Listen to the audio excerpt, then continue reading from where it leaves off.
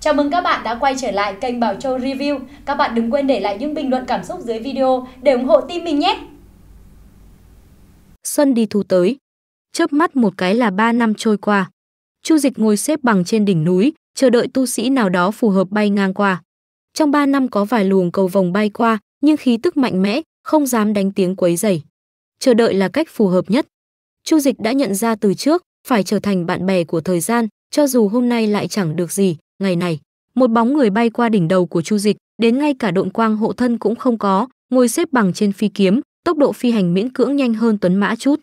Khí tức yếu hơn mình không ít, nhìn dáng vẻ thì cũng chừng mười mấy tuổi, chọn ngươi đi. Chu Dịch nhảy vào sơn hà đỉnh, bay lên trời, gọi với về phía thiếu niên kia. Đạo hữu, xin dừng bước. A, thiếu niên mặc bạch y bỗng nhiên nghe thấy có người kêu mình, hơi mất tập trung, phi kiếm dưới chân nghiêng lệch, xém chút nữa thì ngã từ không trung xuống đất. Chu Dịch đáp lên đỉnh dừng lại cách thiếu niên hơn 20 trượng, sau mười mấy năm thử nghiệm, pháp lực luyện khí tầng 3 cùng lắm chỉ có thể duy trì trong phạm vi 15-16 trượng. Vị đạo hữu này đang đi đến Tiểu Đan Sơn sao? Tại hạ là Chu Cương ở Vân Sạn động núi Phúc Lăng, chúng ta cùng nhau đến phường thị có được không? Từ Nghị, Cảnh Châu từ gia, xin chào Chu đạo hữu. Thiếu niên mặc bạch y giữ phi kiếm thăng bằng, vái chào nói, phía trước chính là Tiểu Đan Sơn, chẳng qua cũng chỉ hai ba mươi dặm đường, không cần phải kết bạn đồng hành. Còn chưa có nói xong, phi kiếm đã bay về phía tám ngọn núi kia. Chu Dịch cũng không ép buộc quá đáng, Sơn Hà đỉnh đáp xuống mặt đất, thi triển khinh công bay trong rừng, nhanh hơn cả Từ Nghị đang bay trên bầu trời.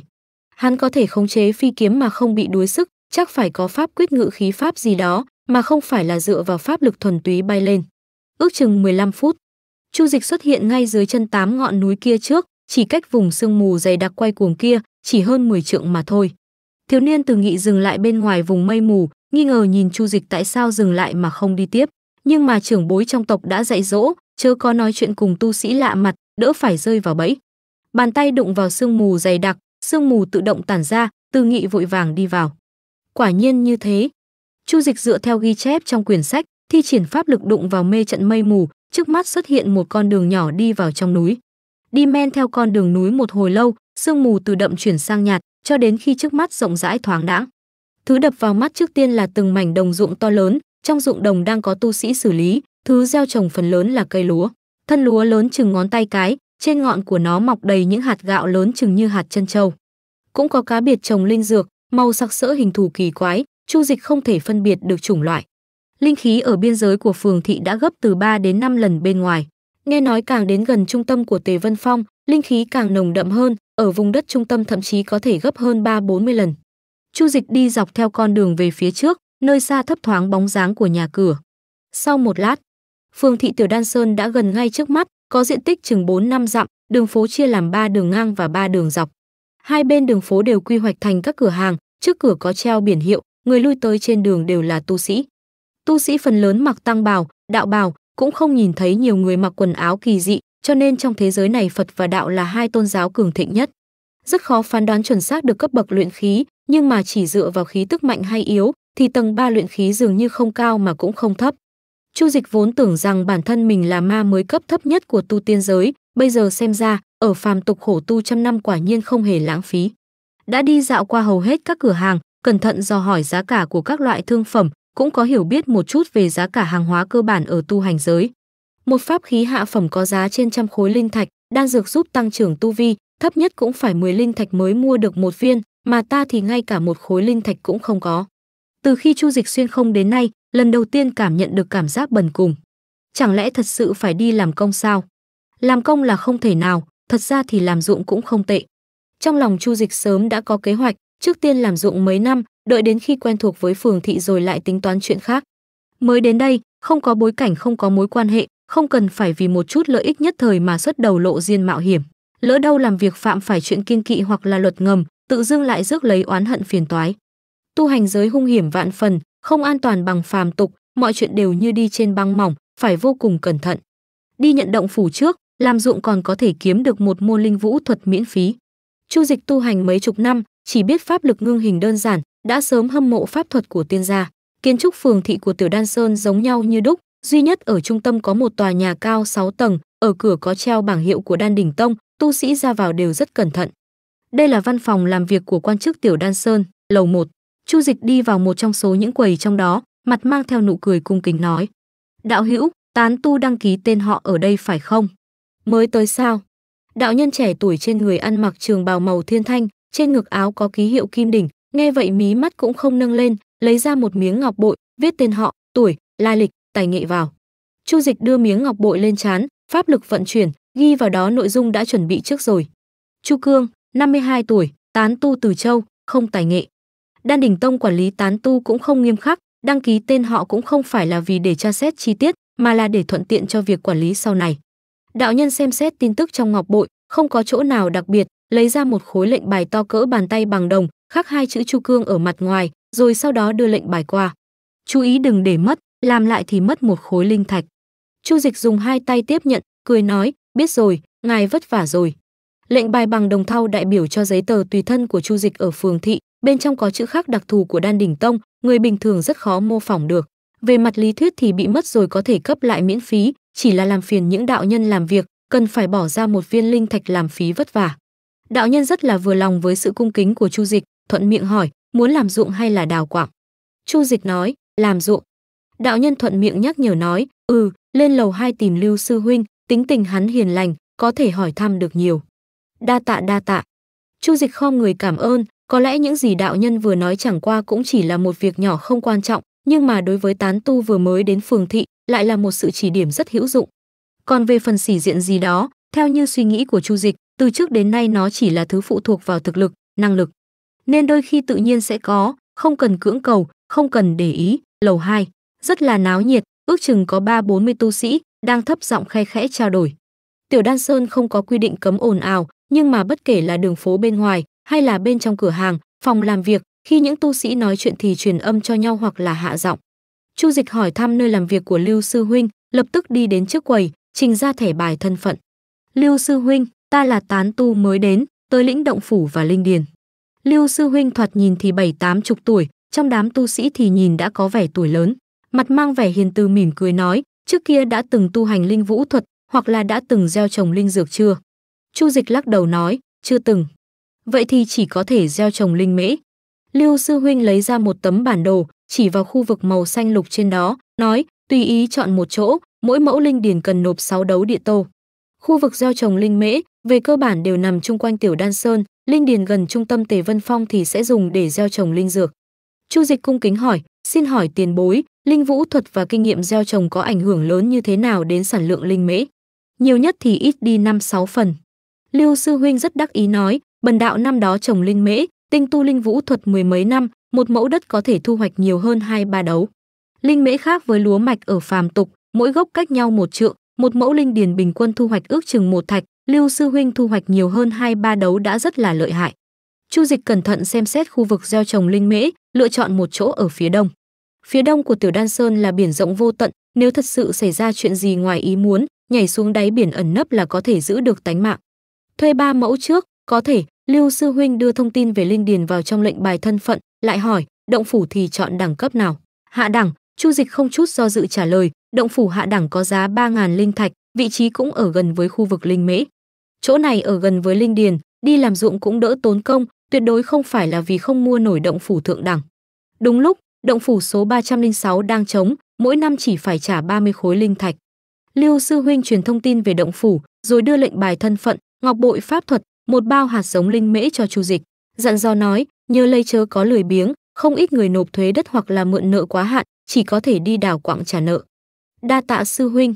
Chu Dịch xem xét lệnh bài và ngọc giản, ra mặt dày nói, sư huynh, tiểu nhân lần đầu tiên tu hành linh vũ thuật, có thể giúp chỉ điểm một chút không, đợi đến năm sau thu hoạch linh mễ hiếu kính ngài gấp đôi.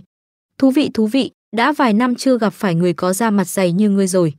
Lưu sư huynh lại lấy ra một miếng ngọc bội, cười nói, đây là một ít điều tâm đắc trong việc tu hành của bần đạo, cũng không cần ngươi phải hiếu kính gấp đôi, đợi đến khi trong tay dư giả, mời ta đến Phượng Minh lâu uống rượu là được.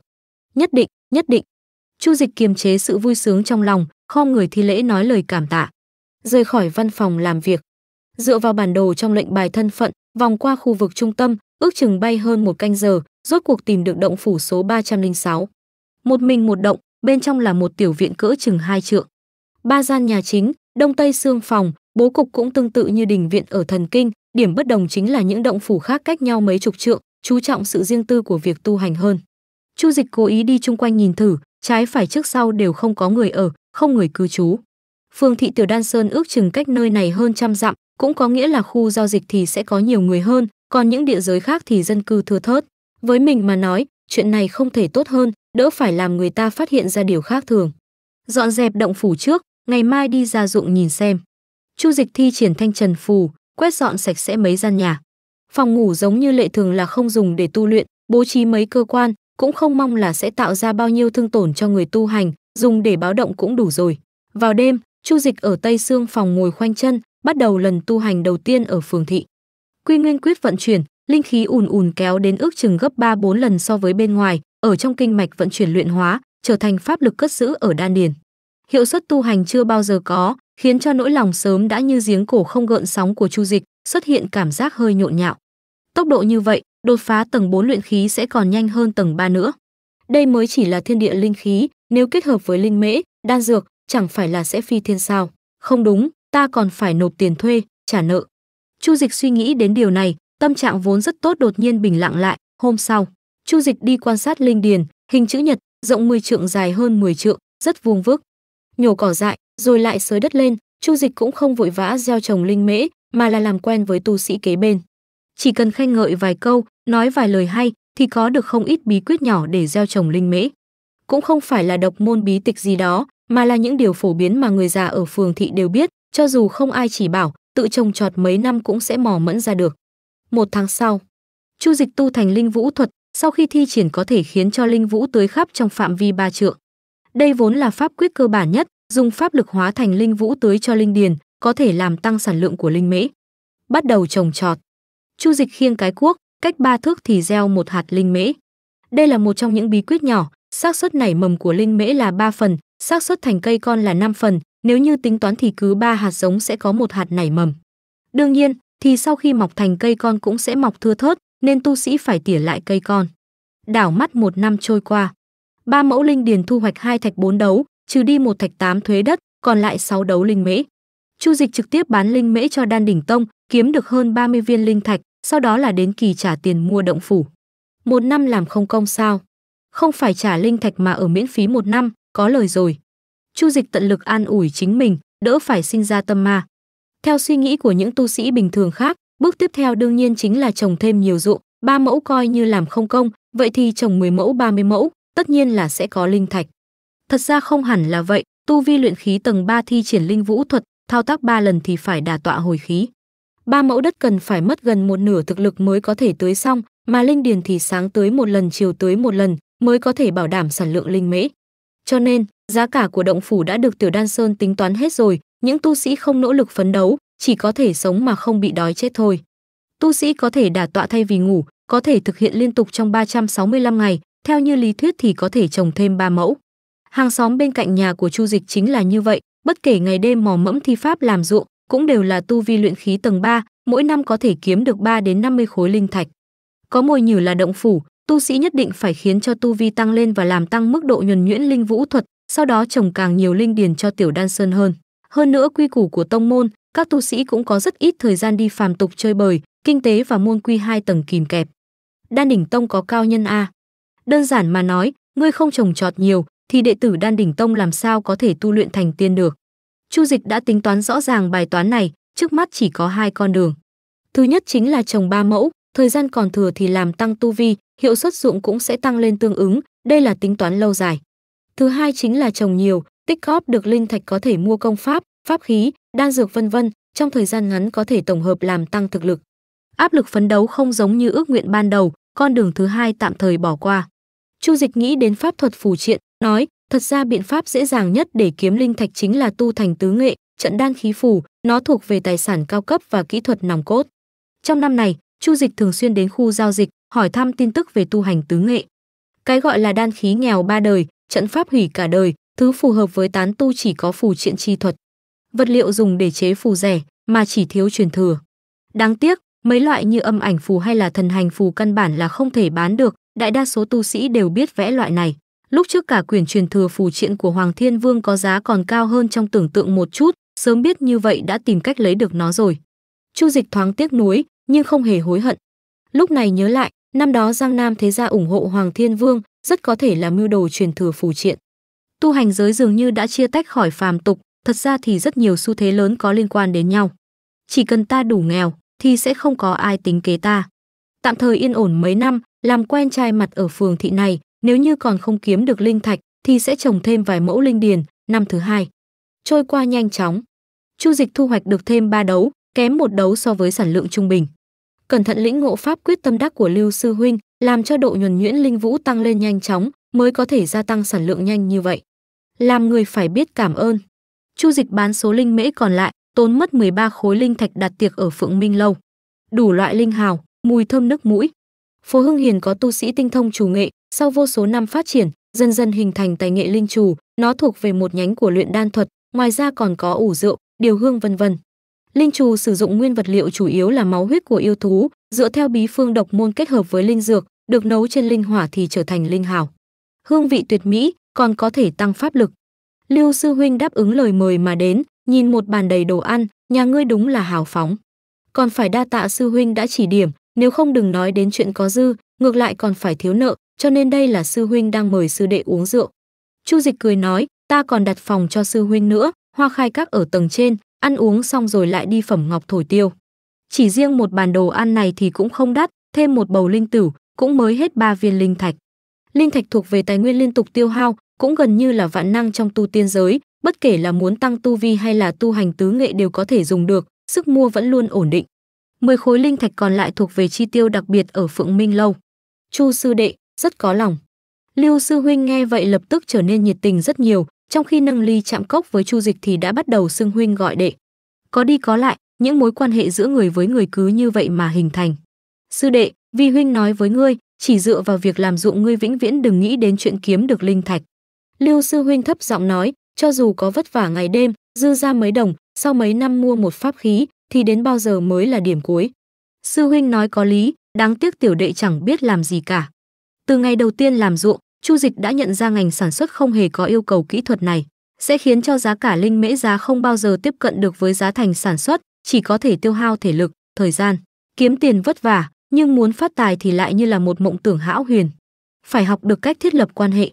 Lưu sư huynh đắc ý nói, ta có quen biết với hướng sư huynh, mới có được công việc trong văn phòng, chưa kể đến uy phong có thể diện, kiếm được nhiều linh thạch hơn so với việc làm ruộng. Thụ giáo thụ giáo. Chu Dịch làm ra vẻ bừng tỉnh đại ngộ, đương nhiên là hắn biết cách này, nhưng sẽ không như vậy làm.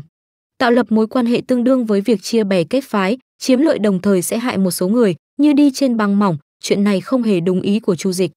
Huống hồ gì quan hệ này trung quy là hư ảo, Chu Dịch có khuynh hướng dùng sức mạnh để có được địa vị hơn. Không phá cách, không trèo cao, đương nhiên là sẽ không tạo nên nhân quả. Nếu thật sự không còn cách nào để kiếm linh thạch, Chu Dịch cũng chẳng muốn tốn công tốn sức mà đi lôi kéo quan hệ, ngược lại sẽ bù đầu bù cổ làm dụng một ngàn năm, cũng mua được động phủ thượng đẳng. Trung quy thì trong lòng không mưu không cầu, mới có thể thản nhiên hành sự. Chu Dịch hỏi, sư huynh, không biết ở đây có hiệu sách nào có thể mua được một ít lịch sử điển tịch của tu hành giới. Lịch sử điển tịch.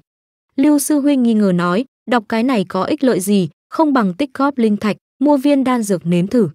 Chu Dịch cười nói, ta đến từ một nơi nhỏ, không thể so sánh được với Lưu sư huynh từ nhỏ đã nghe quen tai, nhìn quen mắt, chẳng có hiểu biết gì với tu hành giới, dự định đọc thêm chút điển tịch để mở rộng tầm mắt. Thứ khác thì khó mà nói, nhưng chuyện này sư huynh thật sự có biết.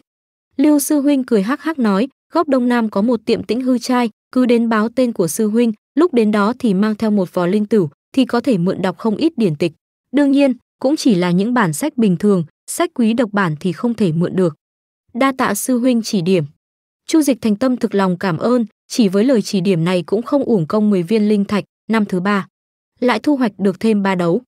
Chu Dịch lại mở tiệc chiêu đãi Lưu sư huynh ở Phượng Minh lâu, sau khi được giới thiệu thì làm quen được với vài vị đạo hữu, cũng gần như chỉ là quan hệ gặp nhau thì gặp đầu chào hỏi vậy thôi. Đồng thời, thông qua việc mượn đọc thư tịch, Chu Dịch đã gần như đã vén được bức màn về tu tiên giới bao la rộng lớn. Những đất nước mà Đan đỉnh tông cai trị, không chỉ có Phượng Dương quốc, mà là toàn bộ 20 quốc gia nằm trong nội bộ Vân Châu. Tiểu Đan Sơn nằm ở cực đông của Vân Châu, vì nó có rất nhiều tử linh đồng nên rất có tiếng tăm. Phía bắc của Vân Châu là Ký Châu, nghe đồn bị ma đạo thống trị. Phía tây là Quỳnh Châu, phía nam là Thập Vạn Đại Sơn, vì bị ngăn trở bởi những ngọn núi bao la nên có rất ít tu sĩ tầng dưới chót biết được tin tức này. Tu tiên giới to lớn vượt xa sự nhận thức của con người, tu sĩ luyện khí cảnh không ngủ không nghỉ mà đi chuyển liên tục, cuối cùng cả đời cũng không thể đi hết cả Vân Châu. Trên luyện khí còn có trúc cơ, kết đan, nguyên anh, tiên đầu mênh mông, đường dài lại gian nan, ta lại là một con ma mới mà thôi. Mặt trời chói chang, dựng một cái mái che ở dưới ruộng, Chu Dịch nằm trên ghế mềm. Uống ngụm nước ô mai ướp lạnh, lật xem thoại bản có tên là Tam Anh Truyện. Chương 309, ân ái phản thành thù, khổ hình ai cùng chịu, viết không tồi, ồ, tại sao lại hết rồi? Chu Dịch ngồi dậy khỏi ghế, sau khi xác nhận mấy lần, tác giả của thoại bản bỏ viết, có lẽ là đã kiếm đủ linh thạch, có lẽ là tuổi thọ đã hết chết già, không có thể xem được kết cục thật là đáng tiếc. Sách mà chủ nhân Tĩnh Hư trai sưu tầm rất tạp nham, Chu Dịch cũng không bắt bẻ, sách gì cũng mượn về đọc. Như là bút ký tạp đàm, truyện ký nhân vật, kỳ văn giật sự, thậm chí là tiểu thuyết thoại bản về tu tiên giới, cũng xem một số sách có tính phê phán. Cuốn Tam Anh truyện thuộc về tinh phẩm trong số những thoại bản, miêu tả việc đấu pháp chém giết cực kỳ sắc nét. Đương nhiên những nhân vật chính trong sách đều là nhất đại thiên kiêu, mà tu tiên giới chân thật gần ngay trước mắt. Cách đó không xa, cổ thần ở mảnh ruộng kế bên pháp lực hao hết, quen cửa quen nẻo chạy đến ké đồ uống mát lạnh. Dưới lều che nắng là hai cái ghế tựa, cái còn lại là chuẩn bị cho cổ thần. Thoải mái, cổ thần uống liên tục ba bát lớn, thở ra một hơi nhẹ nhõm. Tu sĩ không bị trúng nắng trúng gió, nhưng vị giác chua ngọt mát lạnh thì vẫn phải có, nếu không thì đã tu thành cục đá rồi. Rồi sau đó liếc mắt nhìn thoại bản trên bàn, lắc đầu nói, sách giải trí này, có xem bao nhiêu cũng vô dụng, tác giả hẳn là một tu sĩ, nhưng mà đại khái đã bị điên rồi. Chu Dịch cười nói, cổ huynh, làm bất kỳ chuyện gì cũng phải phân chia hữu dụng vô dụng, chẳng phải là sống quá mệt mỏi hay sao? Cổ thần trầm mặc một lúc lâu, chậm rãi nói, ngươi còn trẻ, đợi đến khi ngươi một bó tuổi như ta, thì sẽ biết tuổi tác chẳng còn bao nhiêu mà việc thì nhiều, hận không thể làm một ngày biến thành hai ngày. Cái này gọi là sống biết phấn đấu. Chu Dịch nhất thời không biết nên an ủi như thế nào, hai người quen biết 4 năm, trên cơ bản mỗi ngày đều sẽ gặp nhau ở ruộng, cũng đã biết lai lịch của nhau. Thứ mà cổ thần tu hành chính là công pháp tổ truyền, hơn 30 tuổi mới vào tiểu đan sơn. Hiện giờ đã hơn 80 tuổi rồi, vẫn cứ mắc ở tầng 3 luyện khí, về cơ bản chắc chắn là đã không thể tiến thêm được nữa. Tầng 4 là luyện khí trung kỳ, có một bình cảnh không được tính là bình cảnh. Đối với những tu sĩ có tam linh căn thậm chí tư chất tốt hơn, sẽ đột phá mà chẳng có cảm giác gì, lại làm khó cổ thần hơn 20 năm. Đương nhiên, cũng có liên quan rất lớn đến chuyện mấy năm gần đây cổ thần làm dụng không kể ngày đêm, cơ bản không có thời gian khổ tu. Phấn đấu, ha ha, linh căn quyết định số mệnh của tu sĩ.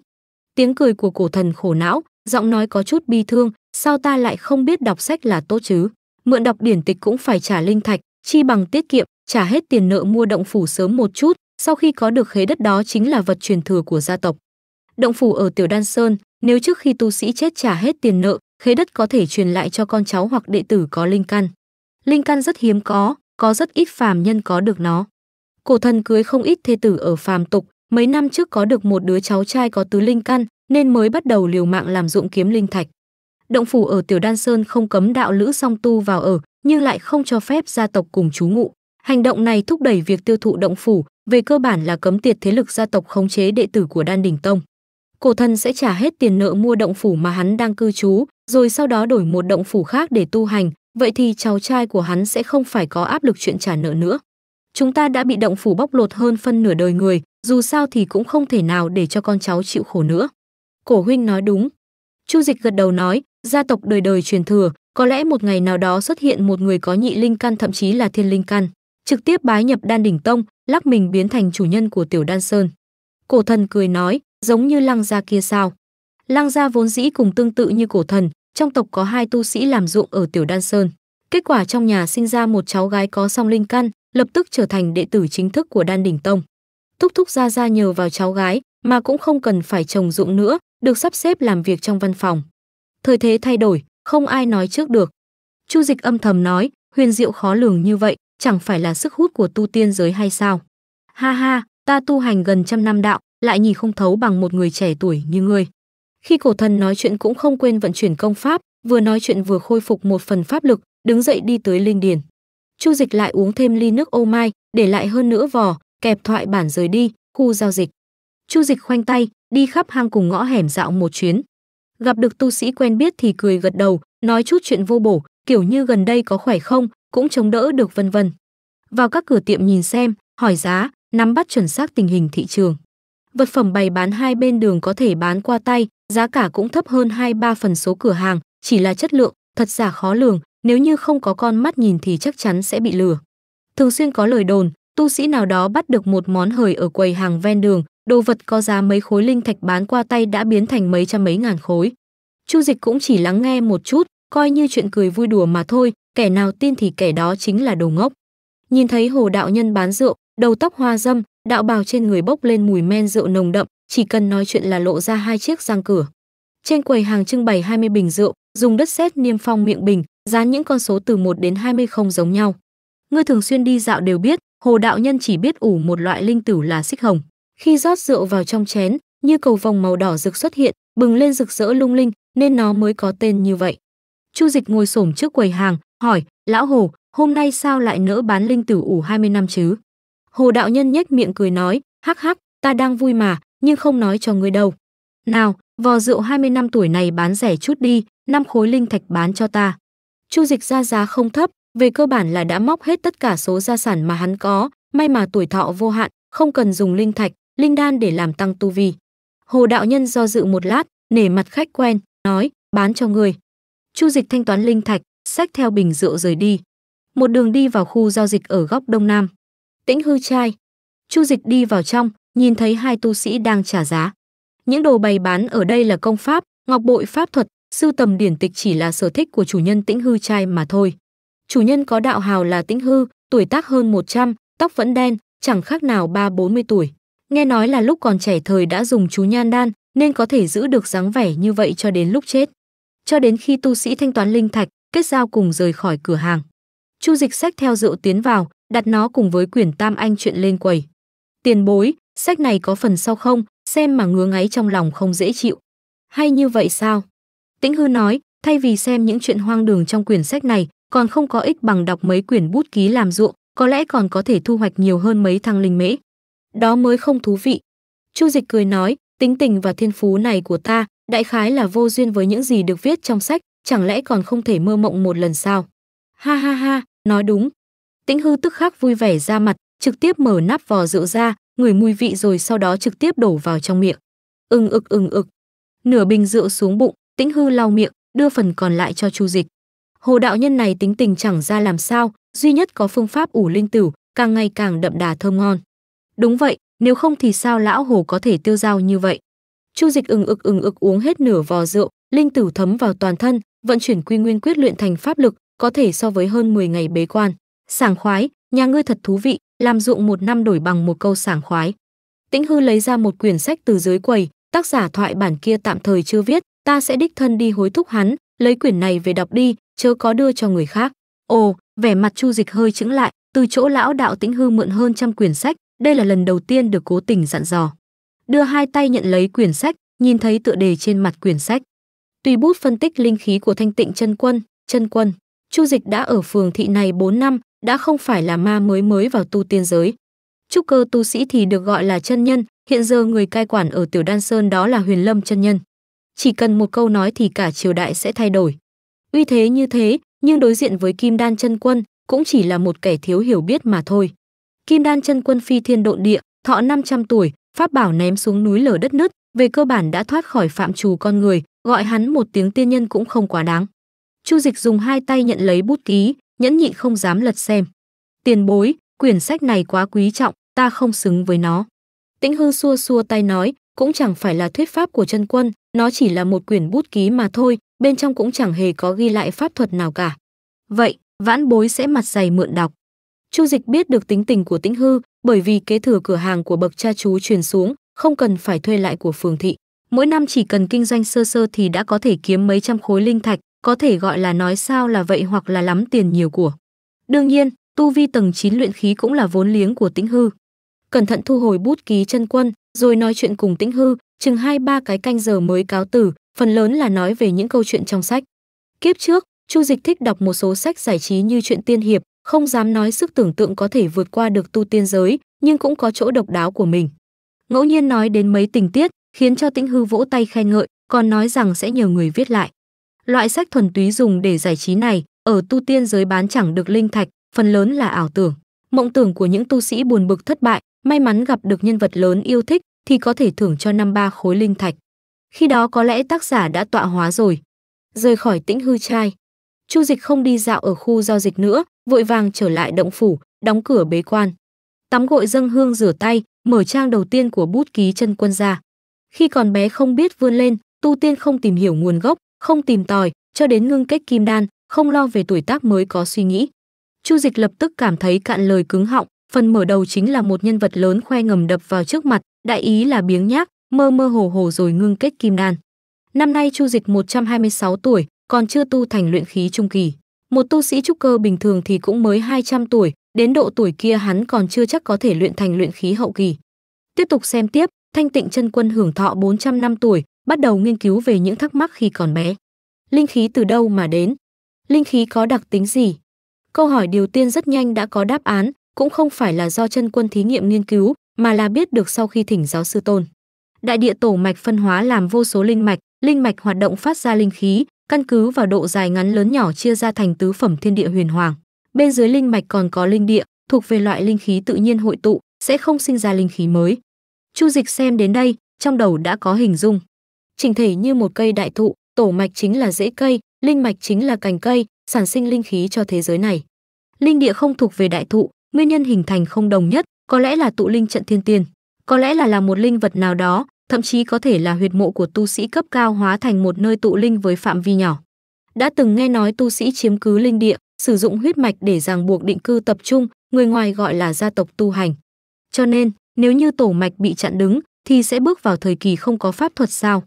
Chu Dịch bóp chết ý tưởng nguy hiểm kia, chưa nói đến độ khó của việc chặt đứt tổ mạch, thì người kia tất nhiên sẽ trở thành mục tiêu công kích của tất cả tu sĩ bao gồm cả yêu tộc.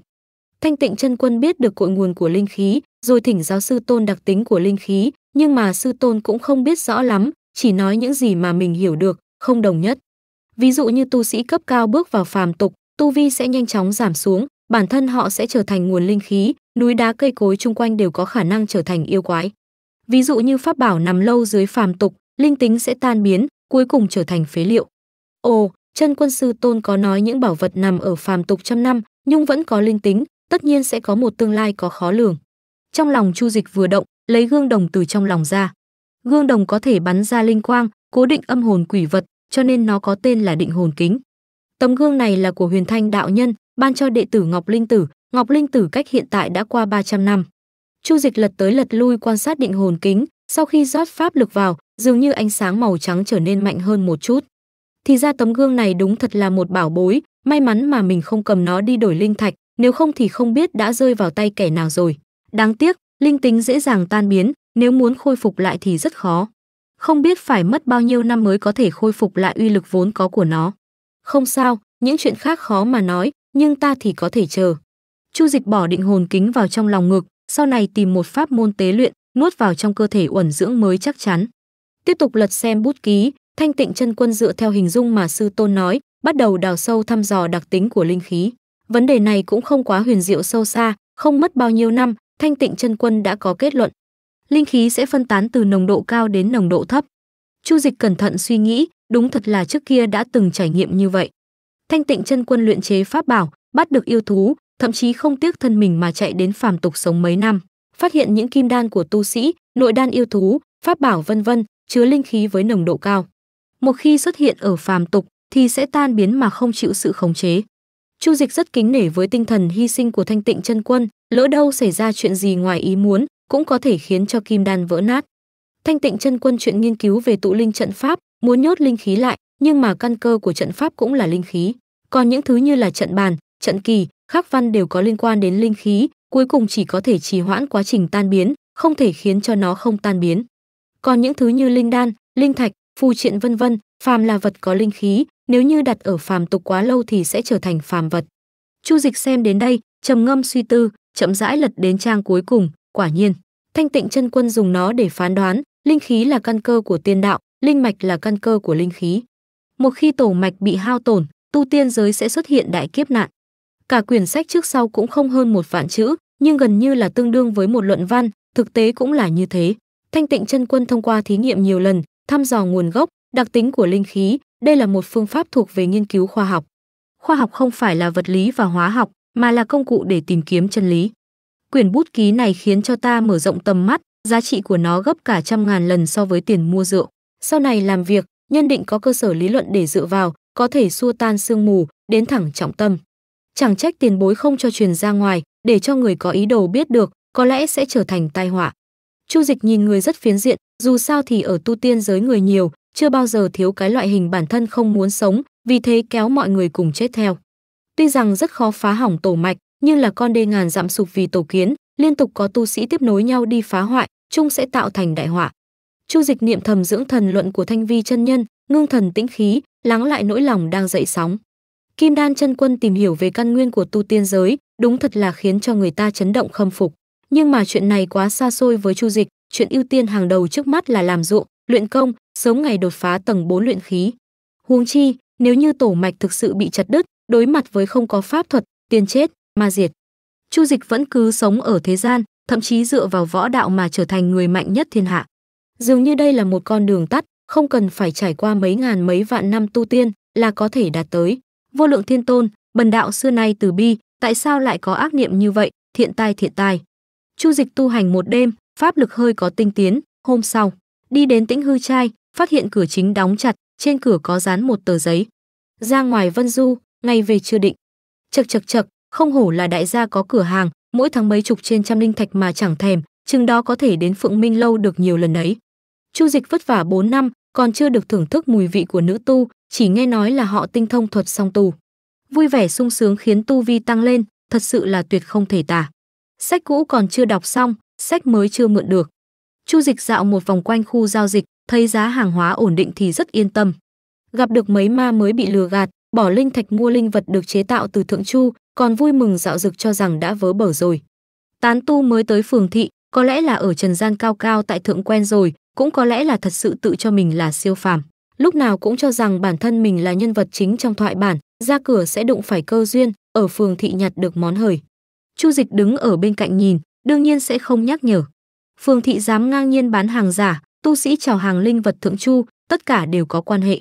Lưu sư huynh đã khéo léo nhắc nhở, Chu Dịch đừng nên phá vỡ luật ngầm, những kẻ đó có thể làm những chuyện lừa gạt ở phường thị Tiểu Đan Sơn. Ít nhất cũng có đệ tử chính thức chống lưng, nếu không thì sớm đã bị tà ma ngoại đạo đánh chết rồi. Người mua vui vẻ phấn chấn rời đi, người bán cuốn gói chạy lấy người. Khi ngươi tham chút tiền lẻ, thì người khác đang nhìn chằm chằm vào tiền vốn của ngươi. Chu Dịch nhìn tấm gương của những người khác, cảnh giác mọi lúc mọi nơi, đỡ phải sau này rơi vào cạm bẫy do lòng tham. Những kẻ lừa đảo ở tu tiên giới không chỉ lừa gạt bằng miệng lưỡi, ví dụ như vị nữ tu sĩ cách đó không xa. Khi giới thiệu linh vật có pháp lực dao động, người mua hai mắt mất hồn, mờ mịt móc linh thạch ra, trạng vạng. Chu Dịch đi đến linh điền của mình thi triển linh vũ thuật, nhưng mảnh dụng kế bên thì trống rỗng, linh mễ sắp chín không người chăm sóc. Cổ huynh đâu rồi? Mấy năm nay cổ thần làm dụng không kể ngày đêm, thà rút bớt thời gian tu hành, cũng muốn kiếm cho Tôn Nhi một tiền đồ tốt. Bất kể hắn tu tiên có ích lợi gì, thì phần tình cảm săn sóc này đủ để cho người ta kính nể. Linh mễ sắp chính rồi, cổ thần không có mặt tất nhiên là đã xảy ra chuyện lớn. Hy vọng tất cả mọi thứ đều suôn sẻ. Chu Dịch tu hành ở phường thị, chưa từng nhìn thấy chuyện giết người đoạt bảo gì đó, nhưng sẽ không ngây thơ cho rằng không có chuyện này. Con người vốn là ham ăn biếng làm, tu sĩ cũng là như thế, thậm chí dục vọng với tài nguyên lại càng lớn hơn. Làm ruộng cả một năm mới tích góp được mấy viên linh thạch, làm sao mà nhanh bằng việc ăn cướp được chứ? Cho nên, cổ thần quen biết với Chu Dịch mấy năm, hai bên đều không biết quê quán của nhau ở nơi nào. Trở lại động phủ, đả tọa luyện khí đến lúc bình minh. Bình cảnh của luyện khí trung kỳ khó hơn rất nhiều so với dự đoán. Cho dù tư chất của cổ thần có thấp kém như thế nào nữa, ít nhất hắn cũng có linh căn, còn mình thì ngay đến cả ngũ linh căn cấp thấp nhất cũng không có. Chu Dịch dự tính rằng phải tu luyện thêm 10 năm 8 năm mới có thể tấn chức tầng 4 luyện khí. Nhân tiện có thể tích góp chút linh thạch, mua thủy độn thuật để học, khi trốn chạy có thể nhảy vào biển rộng an toàn vô ưu. Chu Dịch biết rất rõ giá cả ở phường thị, thủy độn thuật ước chừng có mười mấy loại, loại thượng đẳng nhất chính là thủy nguyên độn của Ngọc Pháp Các, giá bán là 50 khối linh thạch. Cũng tương đương với việc trồng trọt linh điền 5 năm, thời gian nhoáng cái là qua ấy mà, sáng sớm hôm sau. Chu Dịch không trực tiếp ra ruộng, mà là xem xét ba linh nguyên hoa được trồng trong viện. Linh nguyên hoa là chủ dược để luyện chế bồi nguyên đan, được 10 năm dược linh thì có thể thu hoạch, một gốc bán được một viên linh thạch. Sới đất, tưới nước, tỉ mỉ chăm sóc. xác suất nảy mầm cũng quá thấp, sau khi nảy mầm thì cũng chết mất 9 phần. Chu Dịch lấy hạt giống dược liệu ra, trồng thêm vào chỗ còn trống trong dược điền. Sân viện trong động phủ của tu sĩ có diện tích chừng 2-3 trượng, chính giữa trở lại một con đường nhỏ để ra vào. Có thể tạo thành hai mảnh dược điền, dùng để trồng một chút linh dược dễ trồng sống dai để bán. Động phủ ở phường thị Tiểu Đan Sơn mắc thì mắc thật, nhưng sau khi bán cho tu sĩ thì sẽ không quản lý việc sử dụng. Thật sự nếu như không sợ mất mặt, hủy đi hai căn phòng phụ ở hai bên đông tây, cải tạo tất cả thành dược điền cũng không ai quản. Trên thực tế không ít tu sĩ đã làm như vậy, động phủ bị phá hết chỉ còn sót lại tường vây và giường. Phường thị có hộ sơn đại trận bao phủ, không cần lo lắng chuyện mưa tuyết mưa đá, không chừng tu hành lộ thiên còn hiệu quả hơn. Chỉ là xác suất nảy mầm của linh dược cực thấp, lại cần nhiều thời gian, thực sự kiếm được linh thạch cũng không nhiều lắm. Chu Dịch mua không ít hạt giống hoa bồi nguyên, cũng không trông cậy vào trồng dược liệu phát tài trong thời gian ngắn, mà là chậm rãi học tập kinh nghiệm gieo trồng linh dược. Học chừng 80-100 năm, về cơ bản sẽ trở thành lão nông số 1 ở phường thị, dù sao thì những người lợi hại hơn Chu Dịch đều đã chết rồi. Khu vực trung ương và trung tâm của phường thị, tất cả đều là dụng linh dược, dù sao thì bản lĩnh cơ bản của Đan đỉnh tông là luyện đan, có nhu cầu rất lớn đối với linh dược. Đến lúc đó thuê vài mẫu linh dược điền, kiếm được nhiều tiền hơn so với linh mễ. Đến lúc đó lại trồng thêm mấy loại linh dược hàng đầu có dược linh dài vô cùng, chờ đến mấy trăm hơn một ngàn năm trưởng thành rồi. Không cần phải luyện đan trực tiếp ăn sống rồi luyện hóa, cũng có thể dùng để đột phá cảnh giới. Bán thì không có khả năng bán, tránh cho dẫn tà tu giết người đoạt bảo đến đây. Hạt giống linh dược hàng đầu quá mắc, tỷ lệ sống sót thì lại càng thấp, bất kỳ lúc nào cũng phải chăm sóc, bảo vệ hay là tìm một nơi bí ẩn, trồng một vườn chờ mấy trăm năm thu hoạch là được. Chu Dịch cũng đã từng nghĩ đến việc bỏ linh thạch mua một quyển bí quyết gieo trồng linh dược. Những đạo hữu bình thường hay uống rượu cười nói với nhau, vừa nghe nhắc đến phương pháp gieo trồng linh dược thì liên tục lảng tránh. Mới chỉ là kinh nghiệm gieo trồng mà đã khiến cho người ta trông có vẻ nghiêm trọng như vậy, càng đừng nói đến truyền thừa tứ nghệ tu chân, tu sĩ bình thường căn bản là không thể tiếp cận được. Đi vào linh điền, vẫn không thấy cổ thần ở mảnh ruộng kế bên. Chu Dịch chưa từng quá để ý, nhưng bây giờ thi triển linh vũ thuật đã thuần thục hơn rất nhiều so với trước kia. Năm nay sản lượng trên một mẫu có hy vọng vượt qua một thạch, đã được coi như là nông dân tương đối đủ tư cách rồi. Sau này có thể đạt tới cảnh giới như của Lưu sư huynh, mỗi năm có thể có dư hơn trăm khối linh thạch. Thời gian trôi mau, nửa năm trôi qua nhanh chóng. Linh mễ ở ruộng kế bên đã chín, đội chấp pháp thu hoạch giúp, cũng ghi chép lại trong hồ sơ. Nếu như cổ thần còn sống, phương thị sẽ dựa theo quy định trả lại phần linh mễ này. Loại chuyện này cũng không ít thấy, không ít tu sĩ ra ngoài rèn luyện vân du thì không trở về nữa. Phàm tục giới tàn khốc ác liệt, nó được thể hiện bằng những lời kêu thán của người bị oan, nhiều người nhìn thấy nghe thấy, nhưng trong tu tiên giới thì lại yên lặng không tiếng động, lặng lẽ hồn phi phách tán. Hôm nay, Chu Dịch đi vào ruộng, bỗng nhiên nhìn thấy hình bóng quen thuộc, đang ngồi xổm ở đầu bờ ruộng nhìn Linh Điền ngơ ngẩn, "Cổ huynh." Chu Dịch tiến lên chào hỏi, nhìn thấy cánh tay áo phải trống không của cổ thần, nghi hoặc nói, "Cánh tay của ngươi sao lại thế này?" Khụ khụ khụ. Cổ thần ho khan kịch liệt vài tiếng, sắc mặt tái nhợt nói, đấu pháp cùng tà tu, liều mạng chặt một cánh tay, tiễn hắn xuống địa phủ. Chu Dịch rất ngạc nhiên, cổ thần bình thường hiền lành, chẳng khác nào một lão nông làm ruộng, vậy mà có thể chém giết tà tu. Tà tu không chỉ là người tu luyện tà công ma công, mà tu sĩ sống bằng cách giết người đoạt bảo, cũng thuộc về tà ma ngoại đạo, bọn họ không lao động gì, tài nguyên tu luyện đều dựa vào việc cướp bóc. Sau khi cướp bóc thành công, thay một gương mặt khác đến phường thị tu hành, hết tài nguyên thì lại đi cướp bóc. Loại tu sĩ này tàn nhẫn độc ác, phần lớn tinh thông đấu pháp, rất ít có địch thủ cùng cấp bậc. Sắc mặt cổ thần ảm đạm, hỏi, ngươi nói những kẻ tà tu kia, sao mà đến ngay cả người già con nít mà cũng xuống tay được. Tà tu đã không tính là người rồi. Trong lòng Chu Dịch cũng đã có chút suy đoán, đại khái là tai họa tan ra diệt môn rồi, nói, bọn họ dẫm lên xương cốt mà tu hành, rồi cũng sẽ có một ngày trở thành xương cốt dưới chân người khác, sẽ không kết quả khác đâu. Ta không quan tâm đến sinh tử của bọn họ, chỉ muốn cho cháu ngoan của ta sống lại. Cổ thần lẩm bẩm nói, để trục cháu ngoan, ta bán tất cả đồ vật, xém chút nữa thì đi làm dược nhân, khó khăn lắm mới gom góp đủ linh thạch, thì ta tu lại không nể tình. Chu Dịch trấn an nói, ít nhất thì cũng báo được thù. Giọng nói của cổ thần có chút tuyệt vọng nói, làm người tốt thật khó. Chu Dịch không biết nên nói gì, dù sao cũng không thể nói là kẻ yếu quá khó khăn, cổ thần không thể nào không hiểu đạo lý này. Một tu sĩ bình thường như cổ thần, biết rằng phường thị bóc lột ghê gớm, vẫn không sợ khổ không sợ mệt mà làm ruộng. Dù sao thì Tiểu Đan Sơn vẫn tuân thủ quy định, trừ lại một con đường sống. Những kẻ tà ma ngoại đạo không quan tâm đến quy củ, dương cao lá cờ tiêu giao tự do, phản kháng áp bách gì gì đó, làm chuyện giết người cướp bóc, thật ra bọn chúng chính là sơn tặc thổ phỉ. Chu Dịch thường xuyên chế nhạo Tiểu Đan Sơn lòng dạ đen tối, nhưng lại tình nguyện tuân thủ quy định của phường thị, bởi vì hoàn cảnh sống an toàn quan trọng hơn. Chuyện này chẳng liên quan gì đến thuần phục, nô tính, mà là đặt ra quy tắc, mọi người tuân thủ mới an toàn. Nếu thật sự cảm thấy Tiểu Đan Sơn không được, có thể tự tìm kiếm những phường thị khác, cũng chẳng ai ngăn cản. Chu huynh, đợi đến khi ta chết, ngươi hãy chôn cho cốt của ta trong linh điền này. Cổ thần nói xong khó khăn đứng lên, hiển nhiên là đã bị thương nặng khi đấu pháp với tà tu, lắc lư trở về động phủ. Chu Dịch nhìn bóng dáng cô đơn của cổ thần, thở dài một tiếng, thi triển linh vũ thuật tới linh điền. Một người sống không có sự phấn đấu, mơ màng hồ đồ, chẳng khác nào chết rồi. Lời tác giả, chương cuối cùng giải thích câu hỏi của chương trước. Thứ nhất, thế gian linh khí. Tông môn lợi dụng trận pháp, hạn chế ép buộc linh mạch sinh ra linh khí, khiến cho linh khí trong phường thị nhiều hơn. Linh khí trong phàm tục ít ỏi là bởi vì không thể nào khống chế hoàn toàn linh khí, khiến cho nó tan biến. Nếu không bố trí trận pháp hấp thu, thì về cơ bản linh khí trong thiên hạ đều như nhau, chỉ có bên trong linh mạch sẽ cao hơn một chút. Ngầm hiểu, thánh nhân bất tử, đạo tặc liên miên. Thứ hai, tu sĩ cao cấp. Đọc được câu hỏi của người đọc nói rằng nguyên anh của tu tiên giới đuổi giết tu sĩ luyện khí. Nguyên anh đạo quân cho dù có đến thế giới phàm tục, cũng không phải chỉ trong vòng 10 năm 8 năm thì cảnh giới sẽ bị giảm đi. Chương trước đã từng lấy pháp bảo làm ví dụ, cho dù không phong ấn, linh khí tự động tan biến hơn trăm năm vẫn có linh tính. Tu sĩ sẽ chủ động khống chế sự phân tán linh khí, bất kể là trận pháp, pháp bảo, thần thông hay là những thứ khác, sẽ khiến cho tốc độ tan biến của linh khí trở nên cực chậm, mấy chục năm cho đến trăm năm thậm chí nghìn năm qua đi cũng sẽ không bị hạ cảnh giới. Cho nên không tồn tại tình huống Nguyên Anh đạo quân không dám đuổi giết tu sĩ luyện khí. Thế giới tu tiên trước mắt, chuyện linh khí tan biến đối với đấu pháp chém giết, căn bản không ảnh hưởng, bởi vì tốc độ tan biến quá chậm, trừ phi hai người đấu pháp trong mấy trăm năm liên tục. Tương lai đến khi xuất hiện thời đại không pháp thuật, người chết cuối cùng nhất định sẽ là những lão bất tử tự phong ấn linh khí, xem ai có thể chịu đựng được tốt nhất, trước khi chết chịu đựng đến khi linh khí phục hồi thì lại tiếp tục sống tiếp. Linh khí là giả thuyết cơ sở của câu chuyện này, cũng chính là kết cấu hạ tầng, ảnh hưởng đến hướng đi của toàn bộ câu chuyện. Cổ thần đã chết.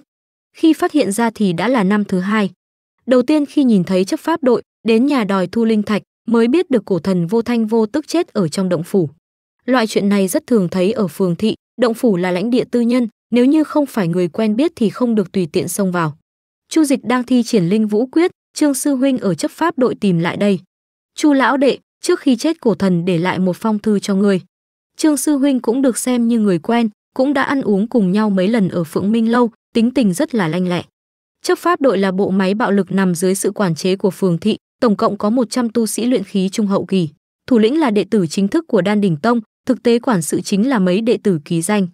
Gia nhập chấp pháp đội thì mỗi tháng đều được phát bổng lộc là linh thạch, cũng ngang bằng với chu dịch trồng linh điền một năm.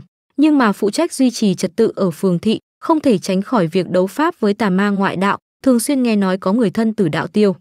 Trương sư huynh vất vả rồi. Chu dịch không kiêng dè trực tiếp mở phong thư. Trong thư, cổ thần không nói bí mật gì cả, đầu tiên là kể chi tiết kiếp nạn trong nhà, cũng giống như những gì mà Chu Dịch nghĩ. Kẻ mưu hại gia tộc của cổ thần không phải là tà tu, mà là bạn thân chí cốt của hắn. Trong nhà bạn thân của hắn cũng một người con nối dõi mang linh căn, vốn dĩ tính toán nhận cổ thần làm thầy. Tương lai có thể kế thừa động phủ của cổ thần, kết quả mấy năm trước cổ gia cũng có người nối dõi có linh căn. Bạn thân sinh lòng đố kỵ, hóa thân tà tu giết chết người trong gia tộc cổ gia, bắt cóc cháu của cổ thần đòi linh thạch chuộc người. Nào biết anh nông dân ngày thường trung thực, nhưng khi đấu pháp giết chết được tà tu, mà bản thân cũng bị trọng thương không sống được bao lâu. Người làm ruộng đều không phải là không có tâm huyết. Chu Dịch tiếp tục đọc thư, trước khi cổ thần trở lại Tiểu Đan Sơn, cũng đã giết chết cả nhà người bạn thân kia. Cuối thư, cổ thần thẳng thắn nói ra thân phận, hắn vốn dĩ mang họ Liễu, là người đại ung Lăng Châu, hy vọng sau này Chu đạo hữu gặp được tu sĩ họ Liễu ở Lăng Châu thì sẽ chiếu cố một hai. Tà tu giết cả nhà cổ thần, nhưng dòng bên nhà Liễu gia còn có không ít người còn sống, cổ thần đã truyền công pháp cho tộc nhân.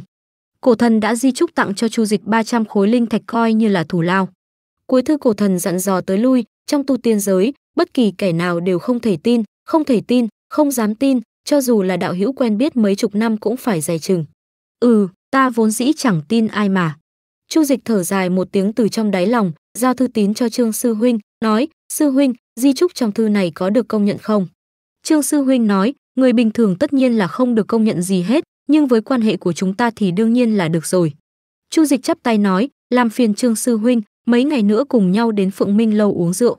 Nghe nói có một nữ tu mới đến, tinh thông một môn điên loan công, nghe đồn rất có ích với việc đột phá bình cảnh tu hành. Phải đi chứ? Trương sư huynh liên tục đồng ý, trong lòng kinh ngạc về sự hào phóng của Chu Dịch.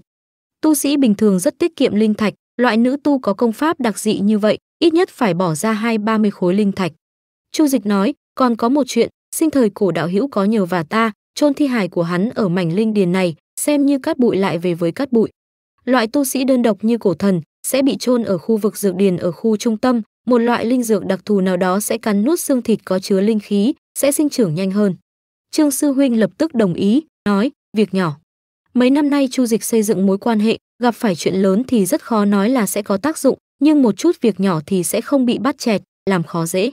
Không có Trương sư huynh làm chứng, thì di vật của cổ thần còn sót lại được bao nhiêu, thậm chí liệu rằng có còn lưu lại hay không. Liệu rằng có vu cáo ngược lại Chu Dịch có động cơ giết người, mọi chuyện đều có khả năng. Cùng ngày, thi hài của cổ thần được mai táng trong linh điền, không cố ý lập mộ bia, động phủ bị phường thị thu lại, chờ đợi chủ nhân tiếp theo.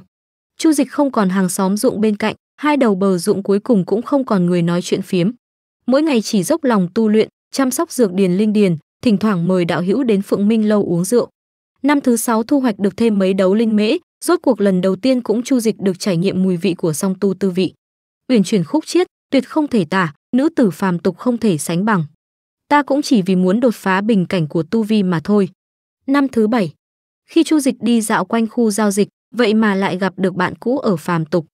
Lý Hồng Hoàng đế khai quốc đại càn, Hoàng hậu Trần Cẩn Du cùng nhau xuất hiện, từ đan đỉnh các bước ra, thấp giọng thảo luận nên sử dụng đan dược như thế nào, làm sao để sử dụng khiến hiệu quả được cao hơn. dáng vẻ tính toán chi ly, hoàn toàn không có uy nghi của đế hậu. Chu Dịch đứng ở nơi xa khoanh tay đứng nhìn, mãi cho đến không thấy bóng dáng của hai người bọn họ, xoay người đi về hướng Phượng Minh lâu. Hôm nay nhìn thấy cố nhân, ai nấy đều mạnh khỏe, đáng để ăn mừng. Thời gian như thoi đưa, chớp mắt mà đã tu hành ở Tiểu Đan Sơn được 14 năm. Đúng 120 năm kể từ khi Chu Dịch xuyên không, nên ăn mừng, muốn đến Phượng Minh lâu xong tù.